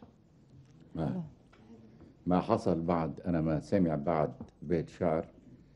واحد خايف يترمش عيونه حتى ما ما يشوف ما يغيب وجه حبيبه عنه ولو رمشة عين. ما؟ شيء رائع جدا. شيء رائع فعلا. هذا أكثر شيء بحب آه، الغنية يمكن مشان هيك أنا طلبت الغنية بالذات مشان البيت هذا. مزوق يا أستاذ جورج. تسلمي. طيب أستاذ جورج هون استطراد بسيط قال إنه أغاني السيده الكبيرة أم كلثوم تحوي كثير من الإباحية المبطنة. بما إنك ضليع بأغانيها هالقد وببيوت الشعر حتى هل بتعتبر إنه هالشيء صحيح؟ إنه في معاني بتحمل في جمل بتحمل أكثر من معنى. إذا بنتمعن فيهم. آه إلى حد كبير اللي عم تقوليه صحيح. صحيح. لا شك إنما لا تجرؤ مطربة غير أم كلثوم على إنشاد هذا اللون ال ال مش ما, ما في يسميه إباحي. هذا اللون الجريء والشاعري وال- والحقيقي لمعاني الحب لأن الحب يعتمد في جوهره على الجسد والروح. صحيح هن الاثنين سوا. الجسد بالأول بعدين الروح. هذا شو؟ هذا شيء الجسد مقدس يعني مش شيء عيب. آه، اللي بتقول دق معايا الحب. صحيح هذا الحقيقة البيت اللي كان براسي. دق معايا الحب حبة بحبة من حنان قلبي. دق معايا الحب دوق دوق دوق شو قديش قديش صورت لك إياها صورت لك حساسية. معنى الذوق والذوقان بإيديا وبتكرارها لكلمه دوق شو يعني دوق معايا الحب حبة في حبة ما تسميها إباحية سميها. روعة روعة من روائع الحب في غناء أم كلثوم أنا هيدا برايي صحيح مم. طيب أستاذ جورج كمان حبيب قلبك الفنان عبد الوهاب كمان شو أجمل آه، الشعر الغنائي اللي غناه كمان أكثر شيء بتحب تسمعه؟ والله إذا قلت لك إنه كل اغانيه بمجموعة كلها بحبها وبعشقها وكلها بتأثر بقلبي. آه، بالذات بحب منه كتير آه، عندما يأتي المساء. ونجوم الليل تنثر. إيه؟ هيدي من من من أجمل الأغاني اللي اللي بتفوت للقلب. في عندك آه، غنية شعبية حلو كتير. آه، حلو كل الناس تغنيها. هي يا دنيا يا غرامي يا دمع يا ابتسامي مهما كانت آلامي قلبي يحبك يا دنيا. اشرب كاس التهاني وارقص على الأغاني. ده بكرة كله فاني كله فاني يا دنيا. حلو. هذا هذا مش ممكن إذا واحد عم بيحاول يغني لعبد الوهاب هالبيت إلا ما يغص. ما بيقدر ما يغص إذا كانه مطرب وكان حساس اللهم. أما إذا كانه ببغاء ماشي حاله ما بحس ما بيصير له شيء. منصور الرحباني وجورج إبراهيم الخوري بتميزهم صداقة قديمة ومتينة. جداً. بتحب تحكي لنا عن هالصداقة؟ كل من ذكر جورج إبراهيم الخوري بتطل وجوه ناس كتبوا تاريخ الفن بلبنان وبمصر والعالم العربي. بتطل مهرجانات وليالي أعياد وأيام حلوة. كمان بتطل سنين حرب وألم جورج ما كان يتعب قاعد يدقي بالناس والأيام والأصوات. مثل الصايغ الماهر. مين ما بيعرف رئيس تحرير الشبكة؟ مين ما قري الافتتاحية ورد وشوق وقطارة الليل؟ هالألم الشيق واللي بيبتكر أشياء حلوة واللي إذا انتقد بيوجع وما بيجرح. جورج خلفه أربعين سنة نجاح. عمل من الشبكة قضية شبابه وحياته عملها على كتافه دخلها لكل بيت بلبنان وبالخارج.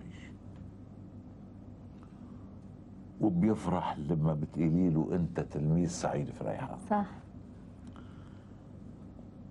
بيقول لك أنا تلميذه البار وهذا إذا دل على شيء بيدل على إنه جورج إنسان أصيل. ما بينكر الفضل ولا بينسى. عظماء الموسيقى بلبنان وبالبلاد العربية كلها كانوا يخطبوا وده ويعيشوه ويصادقوه ويعرف حياته وتفاصيلها بدون الباحث السيئة والمليحة. بس ولا مرة لما كان يكتب عنهم يكتب إلا بمحبة تزد لهم رصيدهم بالقلوب.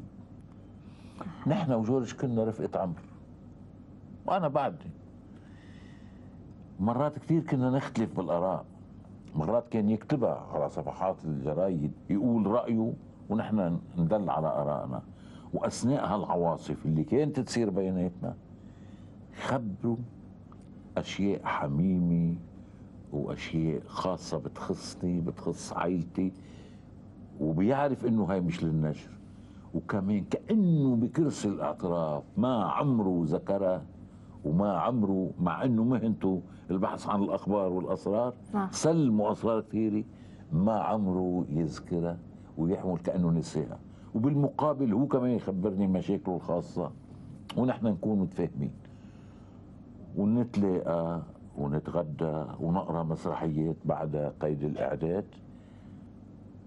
وذلك الإنسان على رأيه. إنما الصداقة ما تتخدش ابدا الصداقة فوق كل شيء. يا صديقي جورج بهالليل المفتوح ونحن صار ورانا اللي ورانا. وما بنعرف شو بعد باقي وشو مخبى. تعا نتهدى ببعضنا ونمشي بخطوة ثابتة نتقدم بالخطوة الملكية. نبارك الحياة صوب العمر الكبير يمكن يكون بعد في بقية سعادة أستاذ جورج مجرد ما تذكر هالبيوت الحلوة اللي عم تحكيها من تمك بنعرف إنه عندك إحساس مرهف أكيد. بس ما دمنا عم نحكي عن الأدب رصيدك بالروايات والقصص وكتب الأدب كتير. بقى شو هو شو كان أول كتاب لك؟ وقد إيه ترددت قبل ما تنشره؟ والله ما ترددت ابدا. الحقيقة لأنه آه، عندي الشجاعة الأدبية أعمل اللي بدي أعمله واتكل على الله وما أسأل عن حدا بالدنيا كلها إلا عن آه، كرامة القلم اللي أنا حامله. تكون له كرامة. يعني أول كتاب ما في اعتبره كتاب كما يجب أن يوهان كان آه، مجموعة حلقات خمسين حلقة من برنامج بفرجها الله جمعتهم بكتاب على بناء لطلب كثير من الناس. بدهم يحفظون بفرجة الله. جمعنا لهم 50 حلقة وهذا كان أول كتاب. اسمه بفرجة الله. تاني كتاب كان آه، آه، شوك بلا ورد. أنا عندي باب اسمه ورد وشوك. عملت كتاب اسمه شوك بلا ورد. حطيت فيه كم نقد كاريك- كاريكاتيري مش اجتماعي وفني. يعني كان اجتماعي أكثر مما هو قطع أدبية ثالث كتاب ليال. هذا اللي انعمل فيلم بالسينما المصرية. وهو مش معمول للسينما المصرية هو معمول للسينما اللبنانية. حتى مش معمول للسينما أصلا. بس إذا للبيت بده ينعمل كان لازم ينعمل بلبنان. اللي قامت ببطولته سهير رمزي. سهير رمزي. يعني سهير رمزي مع احترامي لها آه، مطربة آه، شو- شو اسمه ممثلة حلوة كتير بس مش برشاقة ليال اللي أنا صورها آه. ليال يعني آه، كيف شهناز عبد الله مثلا آه. مثلا إيه هتزعل ريم عن ش... لا. لا بشكلها يعني بشكلها بمشقتها. وبنعومتها وبرشاقتها بجسمها الخيزراني الحلو هيك كانت آه، سهير رمزي كانت شوية منتقل العشاء يعني قبل ما تمثل ما زبط إنما المهم ليال أخذ ضجة كبيرة حتى إنه ترجم. هذا الكتاب ترجم إلى اللغة الإنجليزية قالوا لي ومنها إلى الفرنسية ومنها إلى الألمانية. أنا ما شفته هيك قالوا لي. بيصير تكون دعاية كذبه بعد منها الوحش الجميل.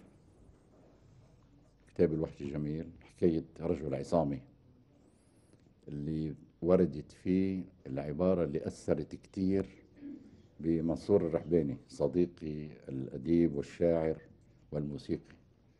عم بذكر عن عم بحكي عن الطبقة المتوسطة. عم بقول إنه الطبقة المتوسطة هي أشقى الطبقات الاجتماعية على الإطلاق لأنها لا تملك المال لتعيش أو تملك الفقر لتستعطي. طبقة صعبة كتير. لا قدران تعيش لا قدران تشحت. هاي الطبقة المتوسطة. أثرت في كتير. حتى ورد فيها جملة هونيك وعمل عليها قصص طويلة عريضة عن منصور. بعدين في هديل. بعد منها ليالي الأنس. آخر كتاب. قبل منها في حكايتي مع عبد الوهاب وفي حكايتي مع عبد الحليم حافظ. أربع كتب. هولي مجموعة الكتب ما بعرف إذا نسيت شيء ما أنا بتذكر طيب أستاذ جورج كل هالكتب اللي ذكرت لنا إياهم؟ يعني نتاجك الادبي فعلا الكثيف. يلي عادة بيتميز بعلاقته الشخصية فيك في روح خاصة. هل هو فن أم بوح؟ ولأي مدى بيعبر فعلا وبصدق عن حياتك الشخصية والخاصة؟ يعني الحقيقة لو ما تكون آه، آه، شخصيتي موجودة بهالقصص ما كنت قدرت كتبت ما كنت قدرت أبدعتها مهما كان خيالي واسع. يعني عشت عشت كل هالقصص اللي أنا كتبها آه، وكنت أحد أبطالها بهالقصص إنما بأسماء مختلفة. قريبة من من بسام باسم بدران مثلا. بال- بالباه كله إيه. بسام ما بعرف شو هو إيه إنما في كتابين كانوا بمنتهى الصراحة بالأسماء الصريحة. كنت أنا أحد أبطال هالقصة هيدي مع هديل مثلا. وتاني قصة ليالي الأنس مع ناي بطلة القصة. قصتي أنا وياها وشو حكت لي شو قالت لي وشو مشاكلها وطلع منها كتاب. نعم. حكايتي مع عبد الوهاب حكايتي أنا الشخصيه يعني ما وحكايتي مع عبد الحليم نفس الشيء. صعوبة كتير بتلاقيها بالأدب أدب البوح الشخصي. إنك بدك تكتبي عن حالك بطريقة ما تبيني فيها مغرورة أو مدعية بمنتهى التواضع. والوقت ذاته بدك تحكي الحقيقة مثل ما هي. قدرت قدرت حكيت الحقيقة مثل ما هي بأسلوب لا بأس به وكان له أثر في المكتبة اللبنانية والحمد بس لله. أستاذ جورج إطلاق العنان للمخيله منه شوي أخصب تعتبر أخصب من سرد وقائع عشناها لأنه الحياة جافة أكثر بدون شك. مثلا أنا أدخلت حوارات على كتبي. مم. ما صارت معي آه. بس تمنيت لو صارت. نعم. فهمتي كيف؟ نعم. أدخلت عملتها أنه هيدي صارت بس هي الحقيقة ما صارت. تمنيت الخيال الخصب اللي عم تحكي عنه حضرتك هو اللي خلاني دخل هالحوارات الجديدة اللي تمنيت لو قلتها. نعم. فهمتي كيف؟ يعني؟ قدرت تخلق شخصية بعد ضفت عليه على شو شخصيتك. شو عليه؟ يحق للشاعر ما لا يحق لغيره. يجوز للشاعر ما لا يجوز لغيره. صحيح. أستاذ جورج أنا كنت بدي أقول لك إنه الشخصيات برواياتك كانهم بيشبهوا جورج إبراهيم الخوري بس إنه حضرتك قلت إنه لا هن جورج إبراهيم الخوري ولكن نعم. بأسماء باثنين. مختلفة. مم. بس رغم الصخب وعنف التجربة إلا أنك بتحرم على شخصياتك الانغماس بأشياء ممكن تسيء لكبرياء البطل تصير لأنها صارت لازم تقال ولو أنها بتسيء إلى كبرياء البطل صارت إنما على البطل أن ينتزع حقه وكبرياءه بإيده. دائما بيسحب بيسحب السيف بالآخر. إذا ما انتصر بيكون على الأقل دافع عن كرامته وعن كبريائه فهمت شو؟ حصلت هي. مزبوطة بهنيكي إنك أنت نبيهة للقصة شو جديدك اليوم أستاذ جورج؟ والله في أنا في طور إعداد كتاب اسمه قيثارة الليل. قيثارة الليل بدي أجمع فيه أجمل أو ما أعتقد أنه أجمل ما كتبت في الشبكة بق- بباب قيثارة الليل هو حوار حب بين رجل وامرأة. قال لها وقالت له وغالبا ما تبلش هي قالت له. ماذا قالت له؟ يا لطيف شو بيحكي؟ جورج بس الملاحظ بقيثرة الليل إنه دايما المرأة بتكون عم تستفهم عم تستفهم من الرجل عن شعوره. هو دايما بيكون آخذ الجانب ال- لأنه ما المرأة- بيعبر عن لأنه الرجل. بنظر المرأة لغز. مش المرأة بنظر الرجل لغز. المرأة ليست لغز على الإطلاق. أما اللغز الأكبر والأجبر والألعن. الرجل. هو الرجل. الرجل. اللي ما ممكن حدا يقدر يفهمه على حقيقته أبدا بالعالم. حقيقته كثير عند الرجل. الرجل خطير جدا. مخلوق عجيب مخلوق آه، ما بتعرفي إمتى ملاك إمتى شيطان. ما بتعرفي إمتى حنون إمتى قاسي ما بتعرفي ناحية الإجرام النفسية الموجودة فيه ما بتعرفي الحب الحقيقي عنده من الحب المزيف. آه، آه، تلاقي الرجل المثالي اللي أنت عم تفتشي عليه ويكون حقيقة مثل ما أنت بفكرك صعب جدا. الرجل هو اللغز مش المرأة. للسبب هي دائما بتسأل. وأنا بحب اوضح قد ما أنا بعرف عن حالي. فهمتي كيف؟ قد ما أنا بعرف عن حالي أو عن بعض أصدقائي أو بعض الرجال أو عن بعض اللي طلعت عنهم بحياتهم قصصهم منورة شوي. إذا بدك أستاذ جورج ما زال عم نحكي عن الكتابات والنشر. بالنسبة للكتابات عن الفنان محمد عبد الوهاب حضرتك بتقول إنه لو انجمع الحبر الأسود اساله قلمك عن عبد الوهاب وانكب البحر الأبيض المتوسط لصار البحر لونه أسود مش أبيض. صحيح. عم أقول هالكلمة آه، لاستطرد لشغله كتاب جديد لمجدي العمروسي الكاتب. إيه. وتطرق فيه لحياة عبد الوهاب العاطفية وفينا نقول العبارة الجنسية. ف هيك سمعنا. لا هو. علاقاته مع النساء. هو هو. نعم. مجدي العمروسي هو كتب. هو محامي آه، مصري. ومحامي شركة صوت الفن اللي بتخص محمد عبد الوهاب وعبد. الحليم حافظ صحيح. محامي زمان وأخيرا أصبح شريك فيها. حب يعمل كتاب بعد رحيل عبد الوهاب سماه محمد عبد الوهاب نعم تطرق فيه لأسرار جنسية آه، كان يبوح فيها لمجدي العمروسي حسب زعمه ما بعرف إذا كان هل. يحق؟ إيه إيه و قامت القيامة علي بمصر إنه ما بيجوز تكتب عن عبد الوهاب هالكلام حتى ولو قال لك اياه هلأ نحن في تلفزيون محترم ما بيجوز نردد شو انكتب. إنما بيتلفن لي من مصر بيقول لي إزيك يا حبيبي؟ بتعرف ال- مصار ولسانه الدبلوماسية حلو المصرية. قلت له كويس. قال عجبك كتابي؟ قلت له آه كويس. قال يعني مش حا... مش حابب تكتب عنه كلمة كده. قلت له لا. قال لي ليه؟ قلت له لأنك أنت ناكر المعروف. قال إزاي؟ قلت له كتبت عن كل الصحفيين اللي كان أصدقاء عبد الوهاب بمصر. نسيت جورج إبراهيم الخوري اللي هو الصديق الأخلص والأوفى. قال لي يا دي حاجة أنا نسيتها. طبعا عادة يعني قلت له أنت أنت نسيتها بس أنا ما نسيتهاش. قال طب يعني أقول لك إيه؟ قلت له أنت ما تقوليش حاجة بس أنا اللي هقول لك يا مجدي. هقول لك إنه لو الحبر الأسود اللي أسلته على عبد الوهاب بتاريخ حياتي إيه؟ نزلته على البحر الأبيض متوسط لصار البحر الأبيض متوسط بحر أسود. هذه إجت الجملة اللي يعني حضرتك إيه بس. أنا القصد أقول إنه حضرتك موافق على فكرة إصدار هيك كتاب؟ لا. لا لا لا لا لا. في الصحافي وفي الأدب الصحفي وفي الأدب ال- الأدب العادي بالكتب ليس كل ما يعرف يقال وليس كل ما يقال ينشر. نعم. يعني أنا ليش قدرت أكون صديق ال- الكبار بين أهل الفن ومش بس بين أهل الفن بين الكثير من رؤساء الدول وملوكهم وأولياء عهودهم وأمرائهم أصدقاء حميمين جدا يعني مش بس حكاية شبكة وفن ومجتمع لا في عندي صداقات كتير مهمة بحياتي لأني اتبعت معهم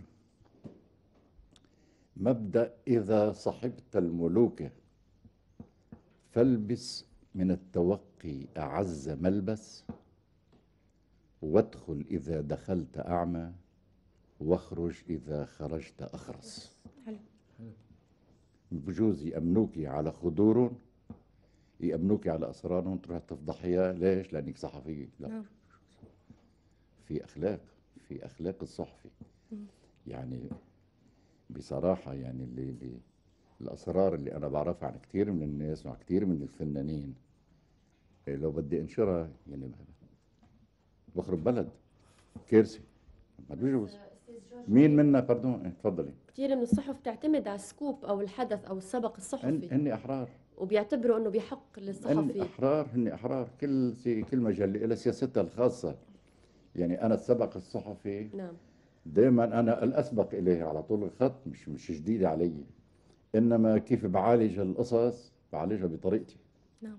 باسلوبي الأدبي بأسلوب دائما أسلوب آه، متبع عندي عن إنه إذا بدك تكتب عن فنان آه، تجرح فيه لازم تعرف إنه بكرة على بكرة بدك تقابله. كيف بده يكون موقفك منه. نعم.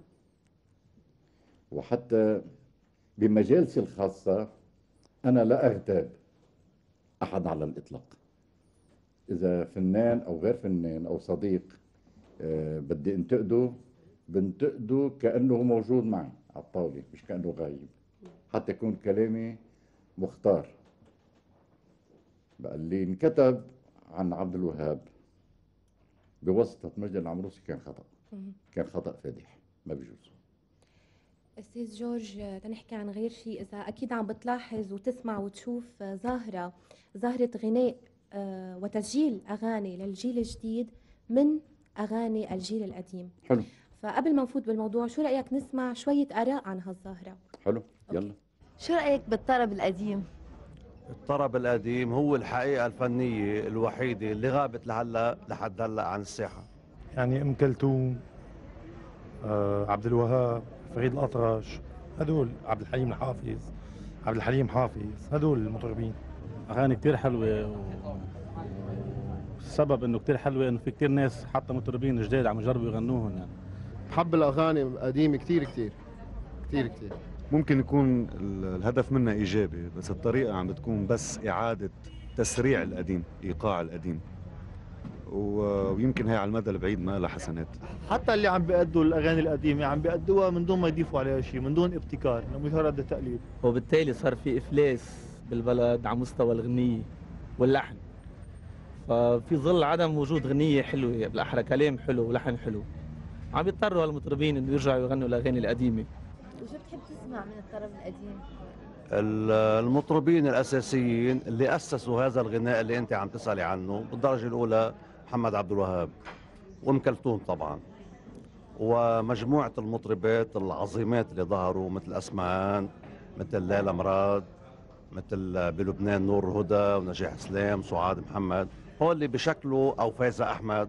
هو اللي بشكلوا موجة الطرب الغنائي الأصيل اللي نحن بنفتقده بهالايام آه عبد الوهاب وفيروز وكلثون و... و... و... آم، وضيع الصافي كمان. اسمهان آه، فريد الأطرش. آه، فيروز ست الكل أكيد. عبد الحليم.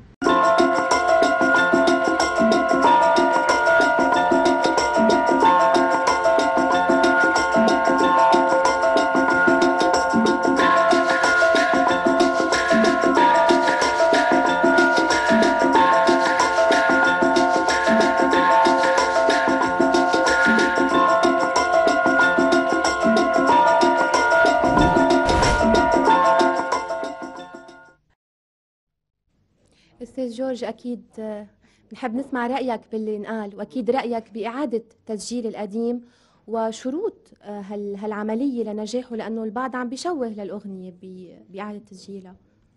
يا ست الستات آه، أصعب ما يواجه الفنان الصاعد اليوم سواء كان رجل أم امرأة. هي إيجاد الأغنية المناسبة والناجحة التي توفر له النجاح. نعم. آه الأغنية الناجحة إلى متطلباتها المادية الغير المتوفرة بالفنان الصاعد. نعمل يجي ما معه. يمكن معه حق تسجيل. يمكن يقدر يدبر فرقة موسيقية. ممكن. بس يدفع شاعر ويدفع ملحن. صعب. عدا عن إنه في أغاني قديمة جدا من أجمل الأغاني على الإطلاق. مهما أبدع المتحضرون الحاليون في ابتكار الألحان الجميلة ما راح يوصل لمستواها.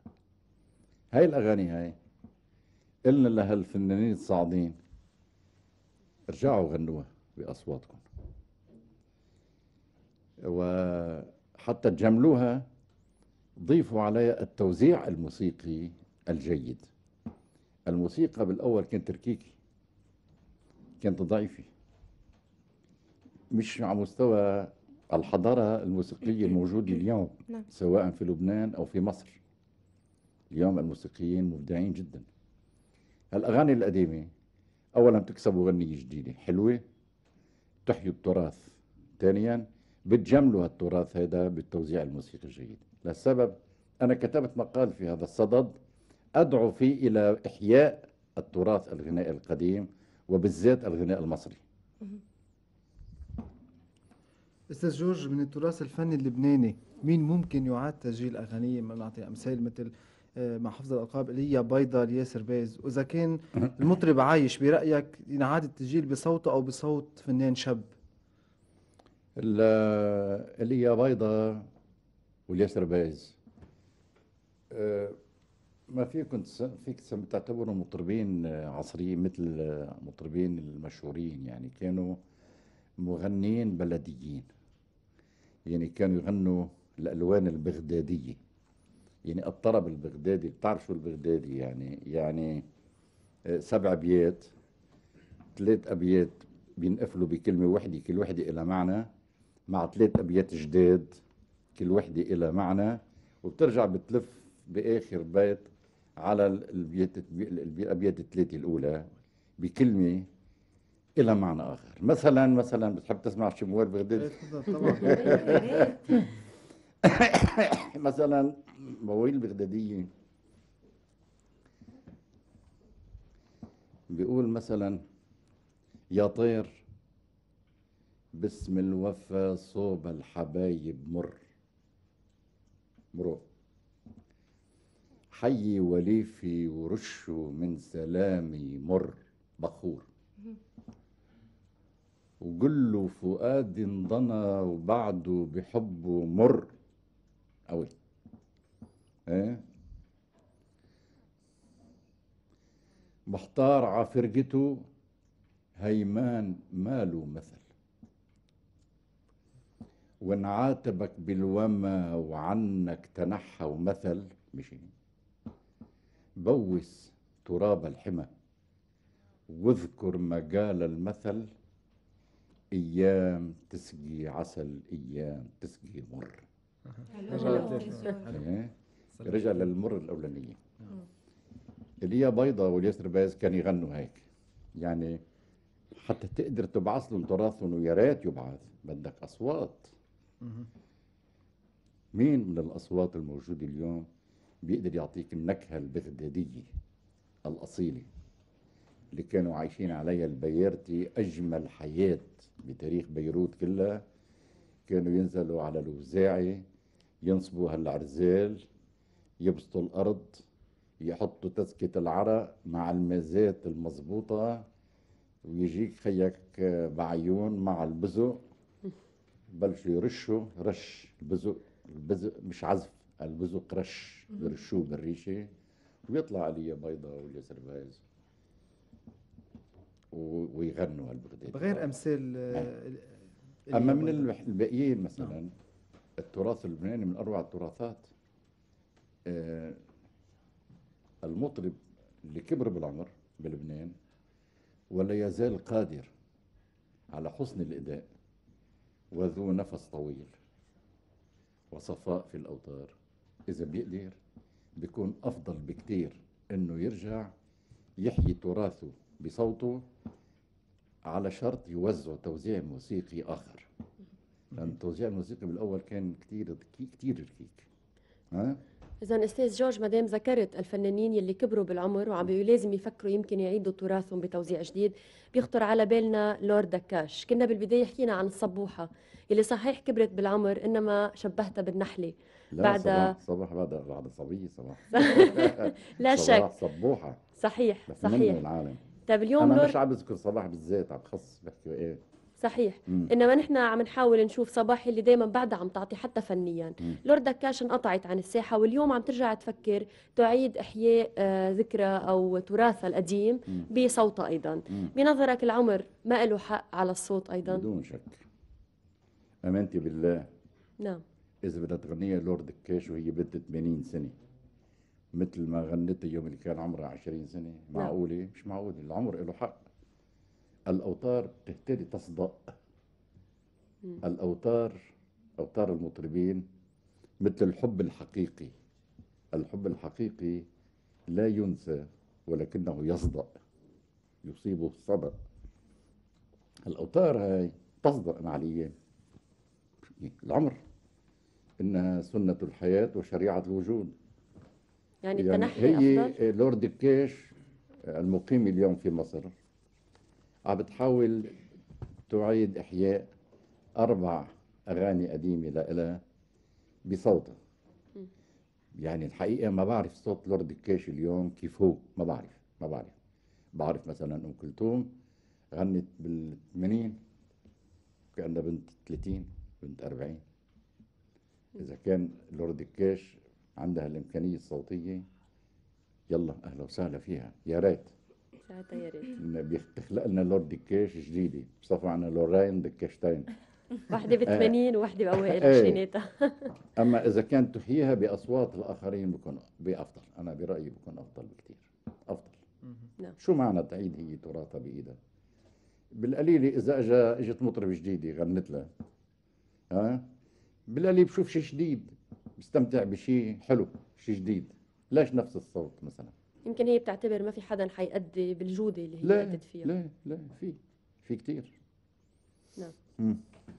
أستاذ جورج نور مهنا لما غنى أغنية وحشتني للفنانة الكبيرة سعاد محمد نجح بإعادة إحياء هالأغنية وتقبلها الجمهور منه كتير. صحيح. وكان أول من باشر بتنفيذ هالطريقة إعادة تسجيل أغنيات لفنانين قدامى. مم. ونور مهنا كان ضيفنا بالليل مفتوح من فترة طويلة شوي وغنى هالأغنية شو. رأيك نسمعها؟ معلوم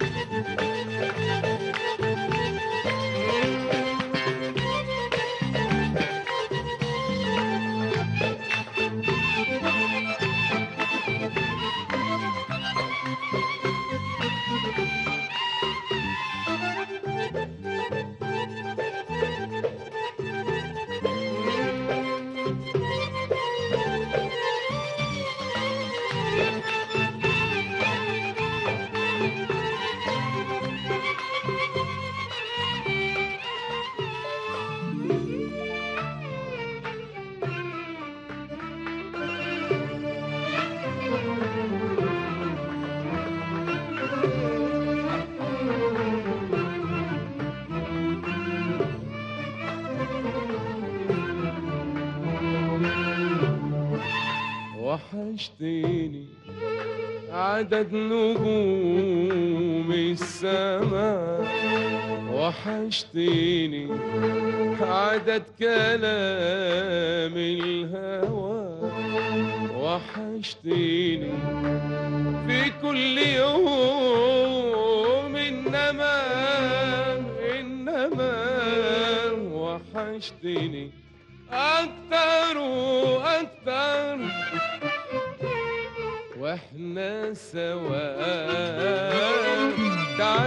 نخلي الحلم حقيقة. تعال تعال. تعال نعوض كل دقيقة. تعال تعال. تعال نخلي الحلم حقيقة. تعال تعال. تعال نعوض كل دقيقة. تعال تعال. من خوفي لبكرة يفرقنا. وإحنا يا روح قلبي ما صدقنا. من خوفي لبكرة يفرقنا وإحنا يا روح قلبي ما صدقنا.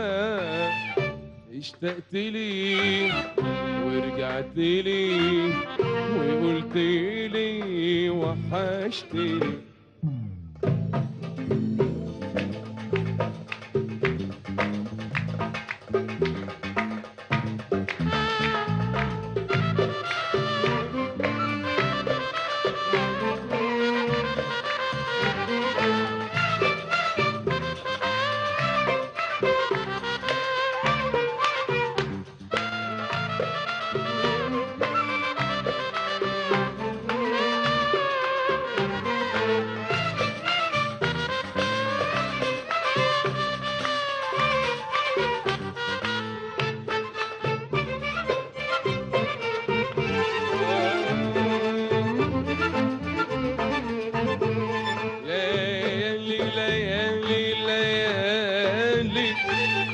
فرقتش ثانية حبيبي خيالي.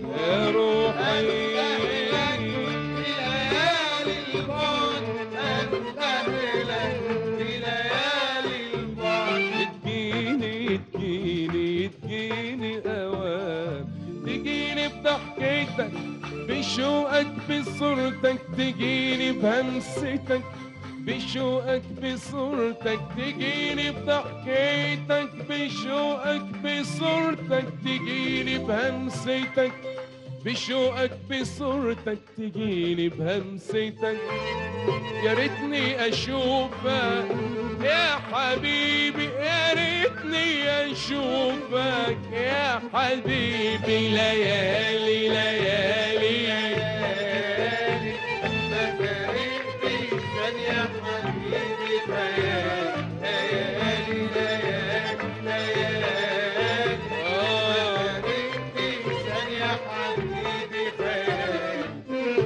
بستنى الفرحة وبستنى وبغني وأنا بحلم بلقاك بستنى الفرحة وبستنى وبغني وأنا بحلم بلقاك الله على لقى الحبيب بعد الغياب. حلاوته في خلي الهوى ارجع شباب. الله الله. تعال نخلي الحلم حقيقة تعال تعال. تعال نعوض كل دقيقة تعال تعال. تعال نخلي الحلم حقيقة تعال تعال. تعال نعوض كل دقيقة تعال تعال. من خوفي لبكرة يفرقنا. وإحنا يا روح قلبي ما صدقنا. من خوفي لبكرة يفرقنا. وإحنا يا روح قلبي ما صدقنا. اشتقت لي ورجعت لي وقلت لي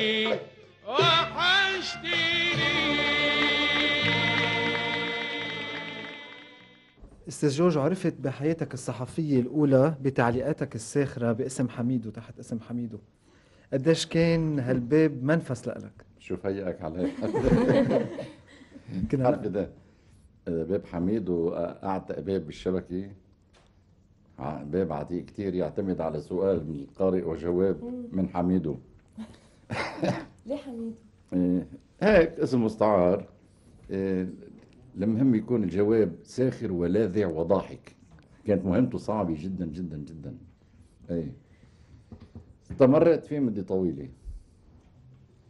إلى أن كثرت الأعباء. اكتفيت هلأ بأنه أحد الرفاق. يوضع الأسئلة اللي بتجي لحميدو وبجاوب عليها أنا. أنا بجاوب عليها بس. وقت يكون في فراغ. أو بيجاوب عليها الزميل هذا اللي ما بحب يعلن عن اسمه لأنه اسمه مستعار حميدو. إذا قلت له حلو نتركه مش حلو من غيره. إشراف. ومستمرين. إشراف لا أكثر ولا أقل. بس بعده بعده ماشي. بعده بعد تصور. شو في عنده أنصار. شو في أستاذ محبين. أنا كنت كثير أقرأ حميد ودائما كنت أتساءل إذا عن جد هدول الرسائل من القراء في منهم بيتمتعوا ب بفعلا مخيلة واسعة في منهم بلغة أدبية مميزة والرد دائما يجي إياهم. مرستق لهم إياهم طبعا مش بهالأسلوب هذا بنظبط له إياه. آه. إنما السؤال سؤال. يعني بيخطر بيورد ببالك إنه بيخطر ببالك إنه بيكون في شي سؤال مفتعل مثلا. نعم. اي أحيانا نعمل سؤال مفتعل إذا بدنا هيك. نزقزق حدا يعني نعم. نخلق له نخلق له هيك قصة. طيب أستاذ جورج من حميدو بننتقل لكون حضرتك ملحن أيضا. إنما هالناحيه أو هالجانب من إبداعك ما حبيت كثير تستغله؟ ظهر بألحان معدودة. شو السبب؟ اولا أنا لا أجرؤ بمنتهى الصراحة على إني أعتبر نفسي ملحن. كلمة ملحن كبيرة كتير كتير نعم. كبيرة. يعني خطرت ببالي هيك شي مرة. لحن غنيه لمشلين خليفة. بحب لها صوتها. وإحساسي مثل إحساسها. طلعت على بالي هون غنية لحنتها سجلتها وزبطت معها اسمها منام. منام يعني مطلعها أنا كتبته طبعا. آه، يا ريت عيوني ما صحت عيوني لشافت حبيبي في المنام. حلو آه. غميقة وعميقة هي إيه. يا ريت عيوني الحقيقيين يعني. نعم. ما صحت عيوني لشافت حبيبي في المنام. إن وردي أحمر والنهر أخضر وحبيبي سابح مع الأحلام. هذا مطلعه سجلناها وزعها فؤاد عواد. كانت كتير كتير حلو. فيها طرب فيها فيها كم فكرة طرب براسي هيك حطيتهم بالغنية. زبطت. غنية تانية لمشلين كمان. يا ريتك يا حبيبي بتضلك حبيبي. بتنور عيوني وتسهر جفوني وتشعل لهيبي وتطفي لهيبي تضلك حبيبي يا حبيبي. إيه؟ حلو. اعتبروها إباحية. نعم. لا مش إباحية. منا إباحية. منا إباحية. شادية. غنت إباحية أكثر عندها عندها غنية وطفي لي ناري مثلا. تبع كيف؟ شو بدي طفي لك نارك فهمتني شو شو طفي لك نارك؟ الست شادية في بمعنى مجازي ها. نعم. كمان لحنت لها إياها حلوة. سجلتها. و كفى الله المؤمنين شر التلحين. وانتهينا. لهون وقفنا. لا أنا ما أنا مش محترف يعني تلحين. اجت على بالي خطر على بالي لحنين هيك وانتهت القصة أكثر لا أكثر ولا أقل. أستاذ جورج ببداية حديثنا اتطرقت لنجوم المستقبل. ونحن لأنه عرفنا أنه أنت بتحبهم كتير بدنا قررنا نبحبح لك إياهم بهالسهرة. يا ريت والله. شو رأيك نسمع هلأ يا- كارولين راضي؟ أوه ممتازة ممتازة كارولين. كتبت عنها مرة من تعليق إيه.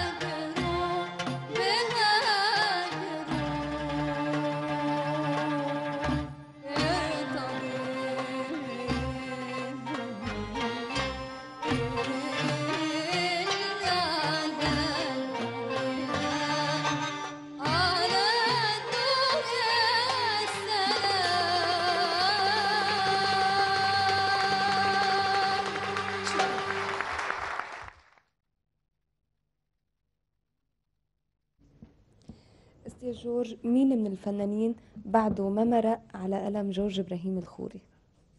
عرب؟ ما في حدا. ما بعتقد في حدا. ما بعتقد يلنين كبار وصغار ولا كبار بس أو صغار؟ كبارا وصغارا. والله كل كبار كل إنسان مرقوا. أنت بتعده فنان. كل كل كبار مرقوا كلهم. على الإطلاق. آه اليوم في كتير صغار ما بعرفهم يعني. إن شاء الله بيكبروا. ونصغر نحن حتى نلتقي. طيب هون استطراد أستاذ جورج حكيت كثير عن صداقات بنيتها من خلال الفن وكتاباتك. هل من آه، عداوات انخلقت نتيجة الفن أيضا مع فنانين؟ لا شوفي ال- كتار يمكن من اللي بنتقدهم يمكن بينزعجوا. نعم. بس ما بيكره. بيعرفوني إني بحبهم بيعرفوني عم بنتقد لمصلحتهم. بيرجعوا لضميرهم بيلاقوا إنه أنا محب وليس كاره نقد بناء أنا عم بحاول ابني مش هدي. هاي الحقيقة. ما في عندي الحمد لله عداوات بين أهل الفن على الإطلاق لأنه اللي بحسه شوي مزعوج برضيه. بوصي برضيه بتليفون برضيه بكلمه برضيه بنكذب بحميد وبيمشي الحال. ما أقدرش على آه. الزعل. أنا مش طبيعي طبيعتي كتير آه، بحب القلب الطيب. مش معناتها أنا ده قلبي طيب لدرجة الغباء. لا القلب الطيب بيكون كتير كبير قلبه ما بيكون صغير ابدا. بحب يكون قلبي طيب معهم. و آه كتار من اللي تضايقوا مني آخر مدة يعني من شي سنتين ثلاثة لليوم ضايقوا رجعوا لضميرهم ورجعوا قالوا لي توقظنا أنت معك حق نحن كنا غلطانين. ومشي الحال. وعفى الله عما مضى. عفى الله. عما مضى. على سيرة الفنانين الكبار أستاذ جورج من فترة تم الاحتفال بذكرى الفنان الراحل عاصي الرحباني. مم. والتلفزيون أو بالأحرى وفد من تلفزيون مستقبل كان له بعض اللقطات. شو رأيك نشوفهم سوا هلأ؟ يا ريت. شو بيتكون هالسنة المهرجان اللي قايم فيه؟ بس قراءات من شعر عاصي ومنصور. مين رح يقراهم؟ هالقراءات رح بيقوموا فيهم ممثلين كبار. في معنى أنطوان كرباج يلي هو كان نجم من نجوم الأعمال الرحبانية. في هيام أبو شديد في رفعت طربي جابي يمين جيزال بويز وورد الخال. وهنري زغيب لا هنري زغيب ما له دور هنري زغيب داعي على الاحتفال الليلي. بدي أقول لك كمان إنه في مداخلات من نضال الأشقر. عبد الحليم كراكلا المطران جورج خضر السفير فؤاد الترك الدكتورة كلوديا أبي نادر ومن شاعر شعرائنا سعيد عقل أستاذ إلياس شو بتحب تقول بهالمناسبة؟ والله بهالمناسبة بتعرفي عاصي هو خيي ومربيني. وكل مرة بيقولوا لي شو بتحب تحكي بهالمناسبة؟ والله أنا حكيت شغلي كتبت بكتاب وهي رسالة من الياس إلى عاصي. وكل سنة بعممها لأنه مش كل مرة الإنسان عواطفه بتتغير. عواطفه وحدة والمحبة وحدة والذكريات وحدة والطفولة وحدة. بعيشها.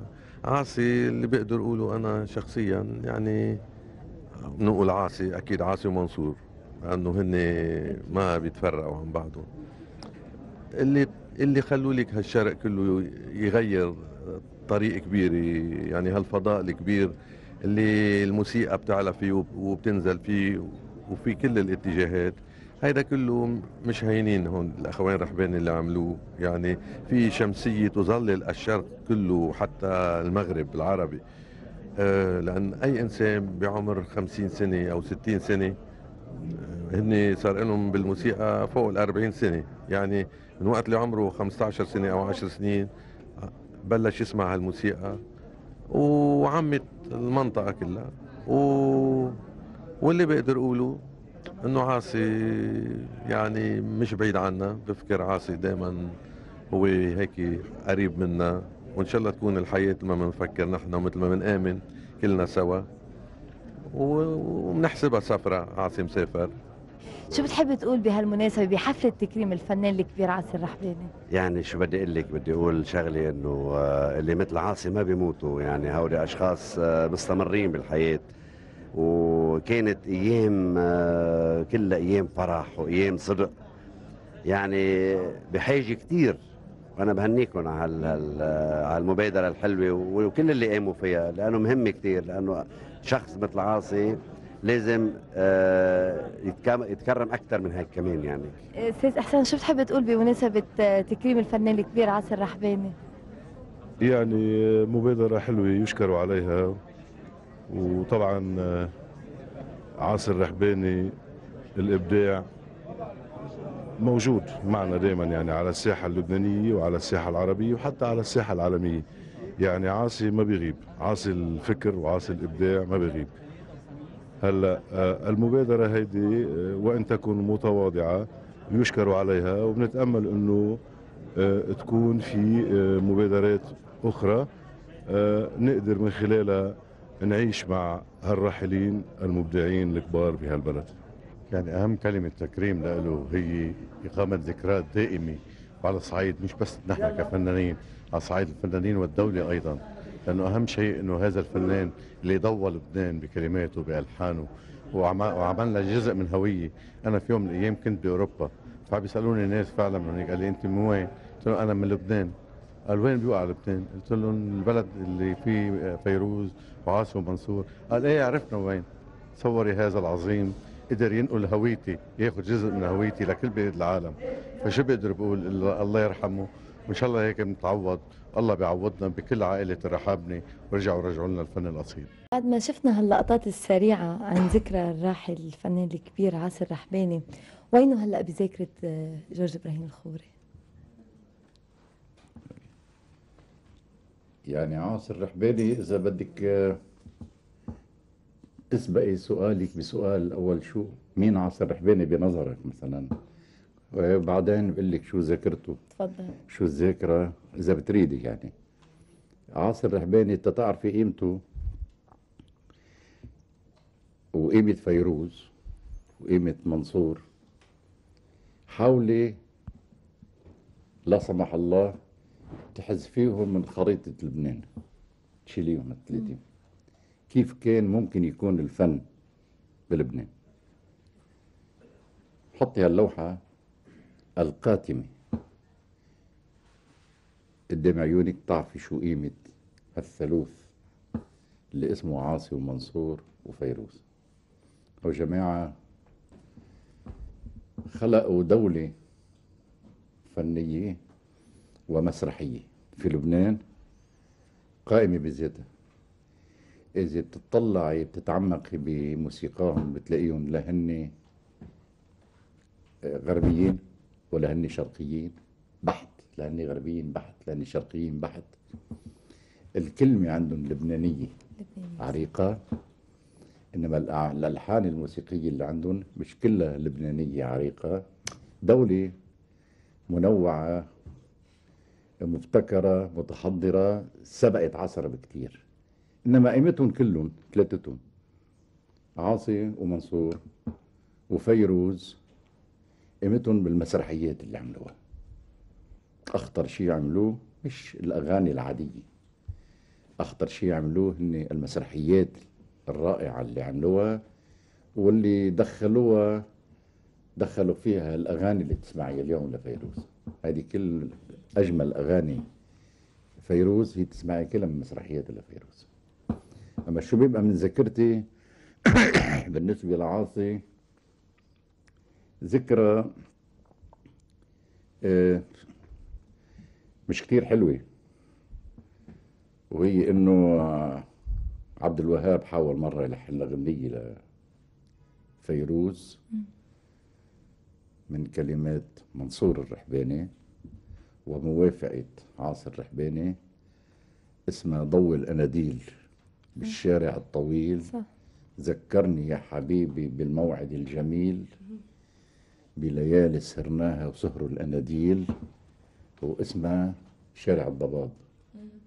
كان عبد الوهاب سعيد جدا في تلحين هذا اللحن لفيروز.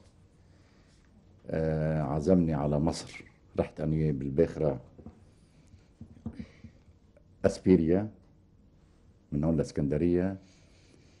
آه 12 ساعة سفر ست ساعات منهم عم بلحن. اجى قال لي حفظت المطلع اللي أنا عامله قلت له حفظته. شو رأيك فيه؟ قلت له رائع جدا. قال لي أمانة بس ترجع للبنان تسمعوا العاصي. اللحن بصوتك. قلت له أوكي. جيت رجعت على لبنان سمعته العاصي. ما علق. شو بك؟ قال لي بعدين نحكي. فهمت منه إنه غير موافق. بعثت له برقية لعبد الوهاب قلت له اصرف النظر عن عاصر رحباني هاي بتضل علقة براسي وبتألم كتير إنه لو غنتها فيروز الغنية اللي ملحنها عبد الوهاب. شو كان ممكن يكون؟ في رصيد ضخم آخر من أرصدة فيروز في الغناء. حرم الشرق العربي ولبنان بالذات من هذا اللحن اللي عمله عبد الوهاب لفيروز استغلوا عبد الحليم حافظ وبرع وسجلوا بصوته بغير له بكلامه ضي الأناديل. ما ما طلعت حلوة كتير. كلمة ضي مش حلوة. والغريب إنه اللي وزعوا له ألحانه والفرقة الموسيقية هن كانوا أولاد الرحباني بالذات. شوفي شوفي أوان الجرح يعني. أنا الوحيد اللي كنت مضايق من القصة. عبد الوهاب ما فرقت معه. فرقت معه. فيروز كنت مضايقة كمان. بس أولاد الرحباني اعتبروا يمكن إنه جاي بعبع اسمه عبد الوهاب. ممكن يسيطر على الموقف. لا مش عايزين ما بدنا يعني ذكرى مش كتير لطيفة بس هي الحقيقة اللي بضل عالق براسي من عصر الرحباني أستاذ جورج ما دمنا عم نحكي عن الذكرى والذكريات رح نعرض هلأ صور لفنانين ومندردش سوا عن حكاية كل صورة وظروف تصويرها. okay؟ صور لمين؟ هلأ بنشوف.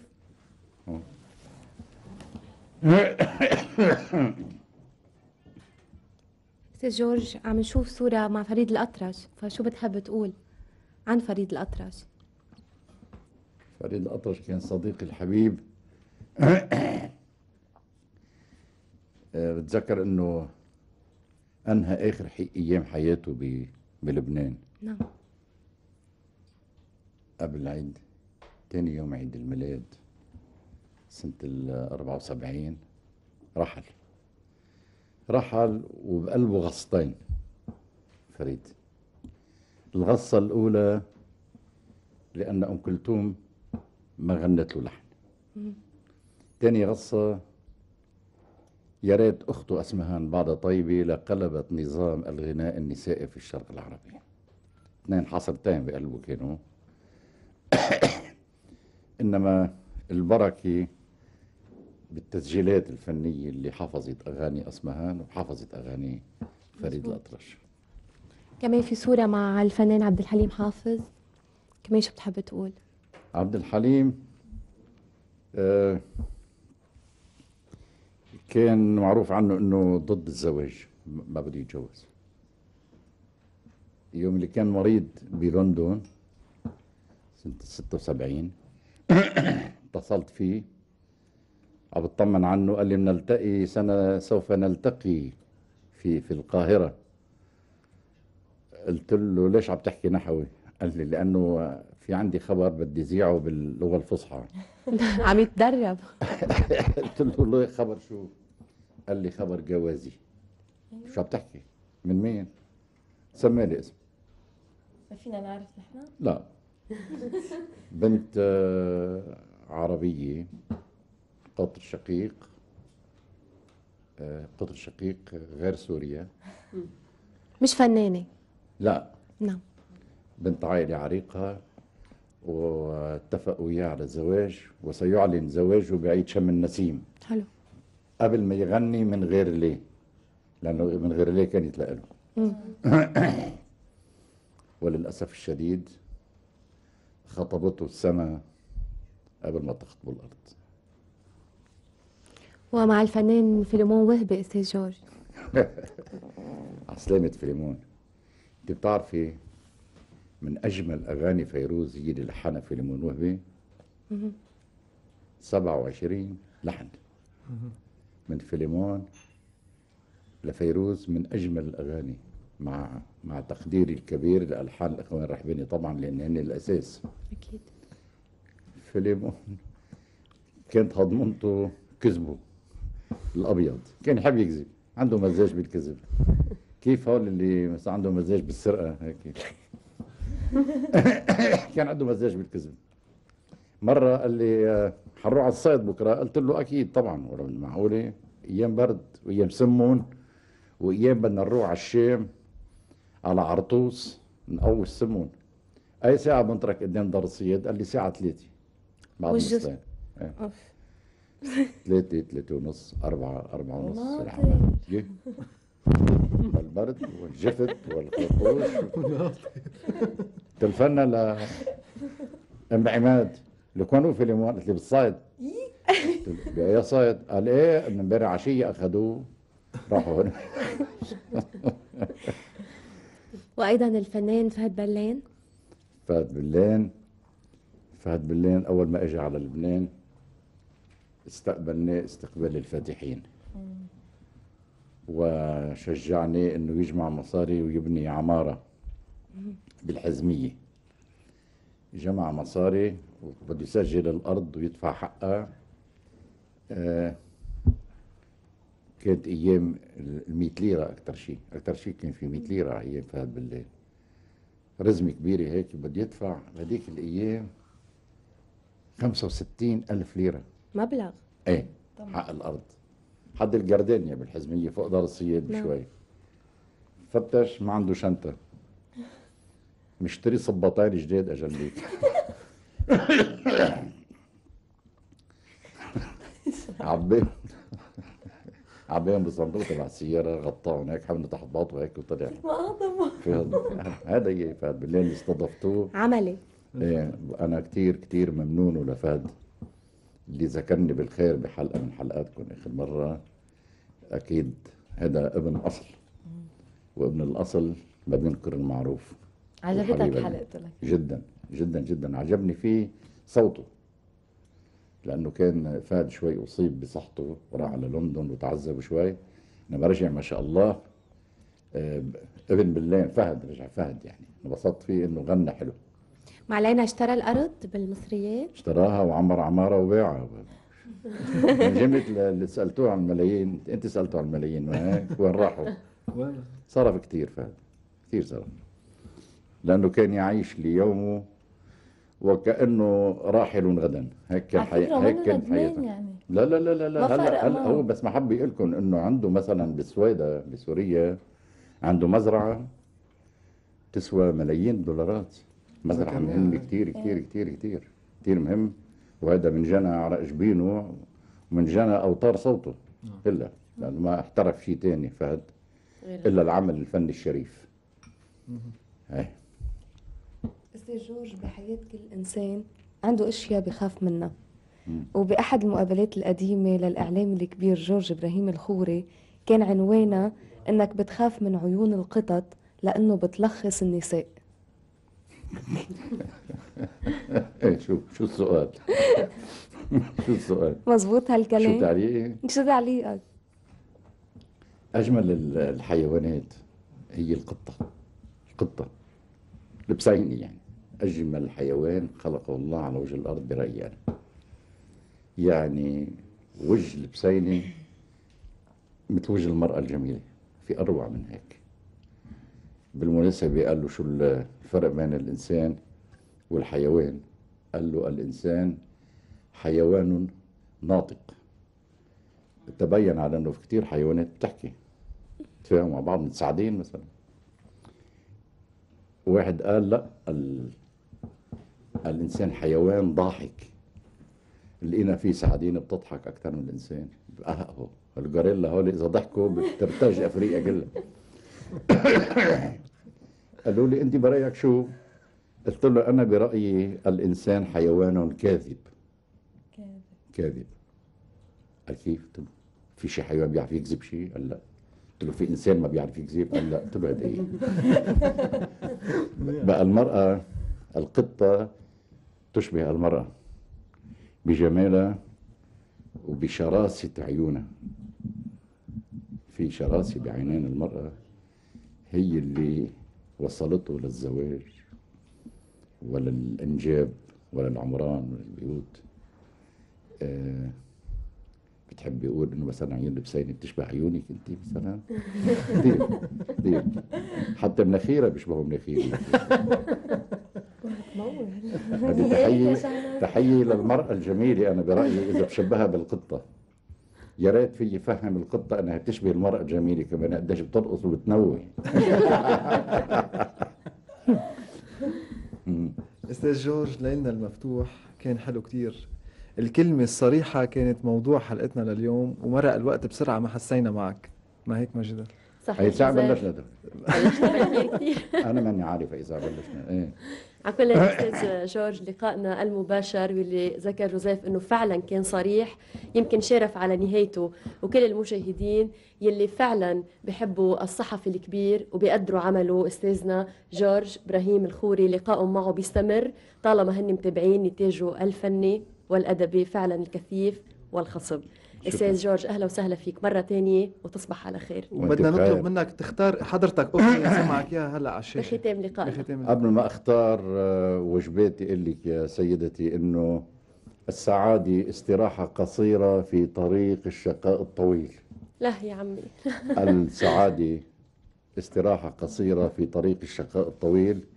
وأنا اليوم كان عندي استراحة سعيدة في طريق السعادة الطويل. معكم أنتم. الله يخليك. أنا كثير سعيد إني بيناتكم بعتذر إذا تقلت. بعتذر إذا أزعجت المشاهدين. وإذا بتحب تسمعيني غنية فطبعا لحبيب قلبي محمد عبد الوهاب.